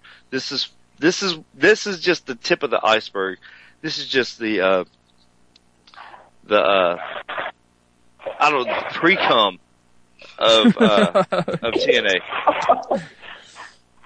Wow. I feel like Jesus kinda Christ. the title reign too. And by the way, don't forget, Sanada is now the X Division champion. Yeah, because when TNA aren't dropping the belts between Chris Sabin and Austin Aries, somebody else has to come in. There you go. Although I kind of like the fact that the the X Division Championship is uh, so hotly contested for, even though it is overkill. Because obviously they still have the option C, which TNA don't even need anymore. Because there's fucking briefcases running around all over the fucking place. They Yeah. got they got the fucking Feast or Fired stuff, which um, the world title's already been cashed in and he lost. What? X Division, I don't think it's been cashed in yet, but I don't watch TNA because I, I actually I should my fucking sanity. Um, tag team title case is with Ethan Carter and hasn't been cashed in on yet, and they still have option C. So, got taken care of back with Chris Sabin. He took care of that and actually won it. Um, yeah, I've yeah, got the. but no, no, no. Option C, uh, option C keeps on rolling over. yeah, at the next Destination next pay per view. But TNA keep on making it sound like it can happen at any time, which we all know is bullshit. But Of course. is Yeah. t- is- Let me give you this real quick. Here. I'm playing spoiler here, kids. So if you don't want to hear spoilers about this show, close your ears for the next 18 seconds. From the TNA versus Wrestle One Outbreak pay-per-view that took place on March 2nd, from what I was told, Christopher Daniels and Kazarian defeated Minoru Tanaka and Koji Kanemoto. Gail Kim defeated Madison Rayne, so that technically we're 50-50 on that one. Takayama and Abyss went no contest and slammed, um, used uh, the ch- tacks and choke slam Takayama on the tacks. Both men could not answer the 10 count. Bobby Roode did the JOB to Mas- uh, Ma- Masakatsu Funaki. Funaki then turned around and challenged Kurt Angle to a match after he beat Bobby Roode. Keiji Muto, Rob Terry, and Taiyo Kea defeated Samoa Joe, Rene Dupree, and Masayuki Kono. When Joe what, what, what? Jesus Christ! Rob Terry and Rene Dupree. Talk In the same- about Canadian. yeah, Jesus Christ. And this is where Sa- um, Seiya Sanada defeated Austin Aries to win the uh, X Division champion. The there were actually three out of I believe eight matches where TNA um, based individuals won their matches. Magnus retaining against Kai or KIA KAI Kai to retain the um, the World Heavyweight Championship. Other than that, the TNA guys basically did the JOB over to the Wrestle One guys. Which It I'm not wasn't- surprised. I, I'm, I'm actually not surprised because Wrestle One's a fledgling company and they need all the help they can get over there. Yeah, but by the Turned out for what? I can understand them running a 50-50 split, but for it to be bal- tipped to the balance of power to wrestle one, dude, does that uh, after what happened in the UK with all they had some decent outings as long as they didn't have frickin' Dixie by God Carter out there 21 times an hour. All I'm saying is that, judging by what I heard for the um the U- uh, the London leg of the uh, tapings, I'm f- I'm fucking glad I dodged that bullet. And go figure this, TNA has a pay-per-view this coming Sunday allegedly. They're actually going to do a real pay-per-view this Sunday. I am so excited, said no one. Wait, there's a pay-per-view? They have a pay per view. lockdown, lockdown is this coming Sunday. Here's the lineup: Magnus versus Joe for the title inside a cage. These are all cage matches. Lethal Oh, lockdown. yeah, yeah. Team uh, Team Dixie, Roode Aries, and the Bromans taking on Team M- MVP, MVP the Wolves, and hmm, gee, wonder who that mystery person's going to be. Knockouts title, Madison Rayne, uh, Willow, huh? it's Willow. Yes, Willow up his ass. Madison, What? Rain- Madison. Hearing, damn it, That'd doom be the crap. midget from Willow. There you go. Um, in a steel cage match, Gunner versus Storm. Eric, uh, Eric Angle. Holy hell, where the hell was I at? Kurt Angle Survivor versus the, Series 2000, apparently. yeah, really. Um, Kurt Angle versus EC3. Anderson versus Samuel Shaw. I like Ken Anderson, but Samuel Shaw is showing me nothing. I'm sorry, but there, here's one. Bad Influence and Chris Sabin taking on the Great Muta, Sanada, and Tigre Uno. That will steal the Great Muta? I think it's his son. I think it's Muta too, isn't it? Matt? No, I think it's the original. They're okay. Guess what? That this match, this one match would probably uh, see. Hold on. Magnus Joe pay per view anytime. Kurt Angle, Derek Bateman, EC3 should be pay per view quality. The six man steel cage tag team match with Bad Influence, Sabin, Muta Sanada, and Tigre Uno should be pay per view quality. Gunner James Storms has, has been played too many times on TV. The the knockouts thing has been played on TV, and the only high part of this is actually getting to watch MVP and the Wolves work. If I mean, it's going to be Jeff Hardy. You know in your heart it's going to be Jeff Hardy. Even if you've read the spoilers, you know it's going to be Jeff Hardy. It's not going to be Jeff Hardy, it's going to be Willow. I don't care if it's Oh. Malibu Barbie. no, it's Malibu Stacy. Sparks Now, Simpson. Now, if it's Stacy Keibler, hello, legs. Okay, so it's going to be what Bobby Roode, Austin Aries, and the Bromans versus MVP, the the Wolves, and Waylon Smithers. About Waylon Jennings. Yeah, Smithers. About the ghost of Hank Williams Sr. They'd win. How about the Ghost of Christmas Past? Ooh. About Ooh. Goes about the- to How about the Ghost of WCW? they'd Oh lose. no! Oh, How about- Like the gay ghost, like, ooh, Wait a minute. What? How about how so about weird. The, thank you. How about the uh, California ghost or the ghost of California Christmas past? How about the Ghost of Buff Bagwell's career? You got to call his mom for that séance. How about the Ghost of Judy, Kate Judy Stevens? Bagwell. I love you, Judy. We should call Judy right now. I have her on. speed. you have her on speed dial. I have her on my cell phone because uh, the time that we did the interview with Buff Bagwell here on Beyond Ringside, which Wick, you were there for that. You can vouch for this crap. Oh dear God, was I ever there for that? The most awkward interview ever. That was a cluster bang and a half. Oh, by the way, for the record, the ghost of California, uh, the California ghost would be boo, totally boo, dude. Okay. Wow. The Ghost of Chase Stevens' balls.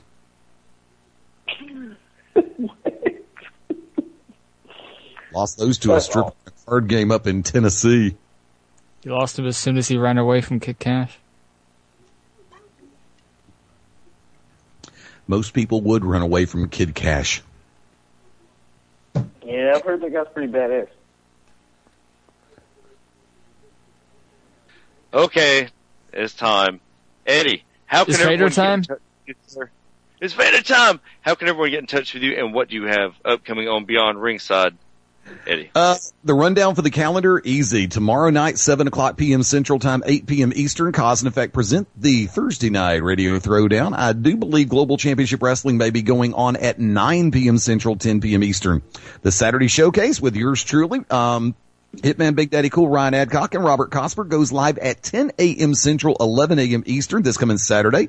And Beyond Ringside Live will be on a one week hiatus. In other words, I have a paying job this coming Sunday and I want the money.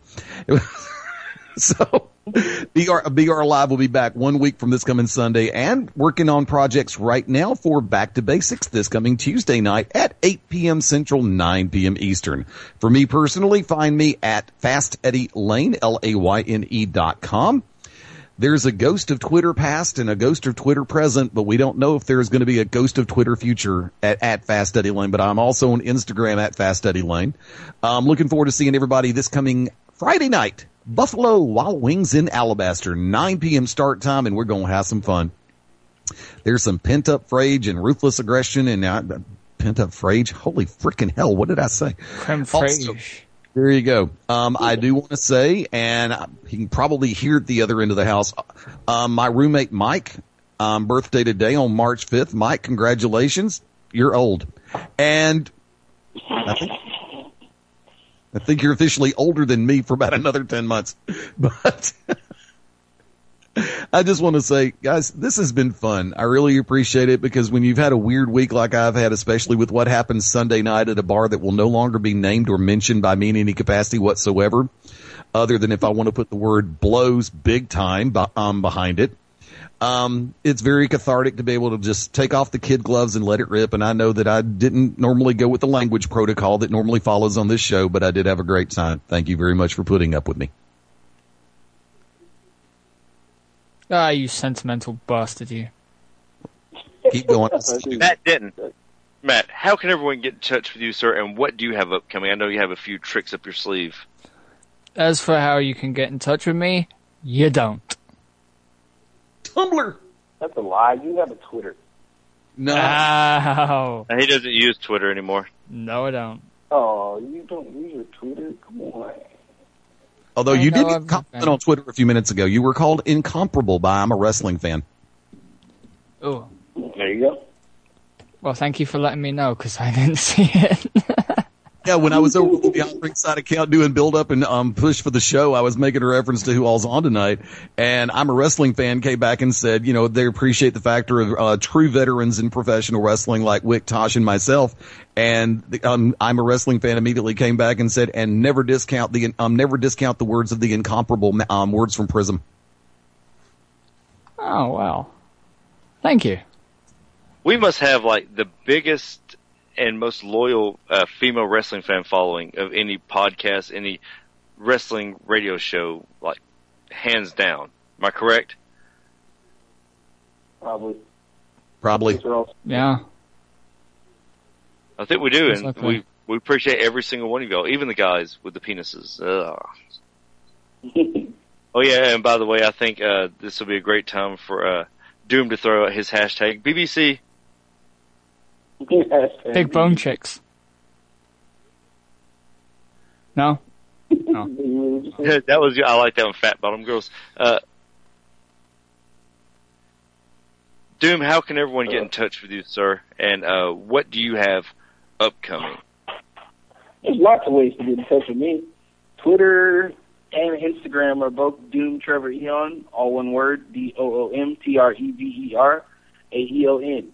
Twitter and Instagram, Doom Trever Aeon. When you get on Instagram, you can also hashtag Eonstagram if you have crazy pictures of me or cool stuff like that, because I know some of you do. Uh, YouTube, TA Facekick, youtube.com backslash TA Facekick. All my matches that have been recorded are on there. The ones that aren't, I post on there, so uh, pay attention. Facebook.com slash Trever Aeon. Once again, T R E V E R A E O N. All those awesome promoters out there that totally want Trever Aeon at your wrestling event. Trever Aeon at gmail.com. Tell me where you are and uh, get me on your show because I kick people in the face and art is violence and I bring the doom and everybody likes me or everybody hates me. You know, whatever. Whatever you want. I don't care. um, am I leaving anything out? I think those are all Yeah, the ways. to German sex tension. That too. Uh, this weekend German on Friday, I'm going to be uh, first show of a new company, Center Stage Pro Wrestling. I'm pretty excited about it. Wrestling Fred Yehi again. It's going to be in Columbus, Georgia. Uh, go to the CSPW website, and they it has pretty much all the information you need. On Saturday, along with Wicked Nemesis and Clyde Braddock, I'm going to Empire Wrestling once again. Last time I was there, I wrestled Johnny Viper. The time before that, I think I wrestled Xander Stone. It's been a while. Can't wait to go back up there. It's going to be in Rossville, Georgia. Once again, Empire website on Facebook will give you all the information. Empire Wrestling Entertainment is what they are. I'm pretty excited. That is all the. Cra- oh yeah, wait, wait. I'm leaving something out. I have a Deviant Art account too. DeviantArt.com slash Doom Trever Aeon. D O O M T R E V E R A E O N. I'm gonna post art on there because it's the Deviant Art website. Duh. Eddie, Eddie, go right ahead, sir. if I may, this is something I meant to say a minute ago, but I got kind of chuckled at something that happened. I didn't really say this. I know we said it kind of on Sunday, and we did. I did say a little bit of it last night on Back to Basics, but I know that I speak for Wick, for Trever, for Clyde, and the entire GCW Underground Foundation locker room when I say thank you to everybody who came out this past Saturday night to the Pelham Civic Complex. Because there were some hellacious fans at the Civic Complex for March Mayhem. There were some great wrestling. There were some great wrestling fans there. Not sports entertainment fans. Not General Hospital fans. General Hospital. Yeah, because there was some drama there too. We just think we we've already talked about it. let it rip, let it rip. I effing dare you. I'll even drop the f bomb. But seriously, I mean, to everybody who came up, where I was bouncing around like a freaking pinball half the time, but to people who came up and asked if they could take pictures with me, to people who came up to ask for autographs, to everybody who came up and made the reference um, to say that they listened to Beyond Ringside, whether it be B or Live, Back to Basics, Saturday Showcase, C and E, and of course TBD. Because I had people coming up and saying that they listen to, the, um, to all the shows on the network on a regular basis, and when they get it, um, especially when they get a chance to as well, and it's humbling. I mean, to be able to put faces it, it really is because when you get a chance to put faces with with the words and the screen names that you've never met before, it's like, dude, Last week on TBD, off the charts. Dude, last week on BR, you, Mabo, and Wick just nailed it. And, you know, when they're talking about the different shows and the different characters that we have, that, and the thing about it is we're not just characters. We are who we are on these shows. Legitimately. Pretty much. I mean, we don't put on facades for on-air personalities. We're not living gimmicks. We're being ourselves on these. We're And- all fantastic personalities. That's why. Yes. And everybody knows that Wicked Nemesis is a warm and wonderful person. Uh, Especially when he's awake, right, Wick? No, but in all seriousness, everybody who did come up, thank you. Because, you know, for all the kind words that have been said about all the shows here on this, on the station and on the network, they are appreciated. And I think for the entire Beyond Ringside family of shows, thank you for listening. Jesus Christ, you really are a sentimental bastard. Let's shut you up. That was just zipper. You just caught my balls in the zipper, you ass! You can find me at Wicked Nemesis on Twitter, Wicked Nemesis Enoch on YouTube. There is a Facebook fan page for Wicked Nemesis, The Unlucky Charms, and the To Be Determined Show, and of course the Merchants of Death. Next Wednesday, I have something in the works. Maybe it'll come through. Maybe it won't. You know, it is the To Be Determined Show after all. We want to thank Clyde Braddock for coming on. Tasha sends her regards. She said her phone messed up, which I mean, it always does about about does. once a month. It seems to go. Exactly. So, uh, so Doom, we do appreciate you coming on and guest co-hosting once again. Uh, so, hey, we will see you Saturday night, Rossville, Georgia Empire Wrestling for Fast Eddie Layne. Have a great week. I'll see uh, see you Saturday morning on uh, the uh, Saturday Showcase and Friday night at Buffalo Wild Wings. For Doom, Trever Aeon. Artist violence. The end. For Mad Dog, Matt Denton. Shameless plug, and I'm not even getting paid for this. Go buy South Park: The Stick of Truth. It's a fucking great game. Cool. This is the Orc of Uh, You have not lived. You have not lived until you've seen Mr. Slave just bounding around and shoving a fucking 15 foot spider up his asshole. Yes, that really happens. And shameless plug that I'm not getting paid for. For those who are looking for genuinely brilliant web design, get in touch with Matt Denton. Thank you. I need the money. Yes, Matt Denton does web design and he is fantastic at it. Please make sure you go out and support local independent wrestling. Make sure you go out and you check out Seeing Red Again. That is a great song and it is a great way of life. Period. I am the Orc of Ominous, the architect of Inner Lake. This is the To Be Determined show. And turn down for what?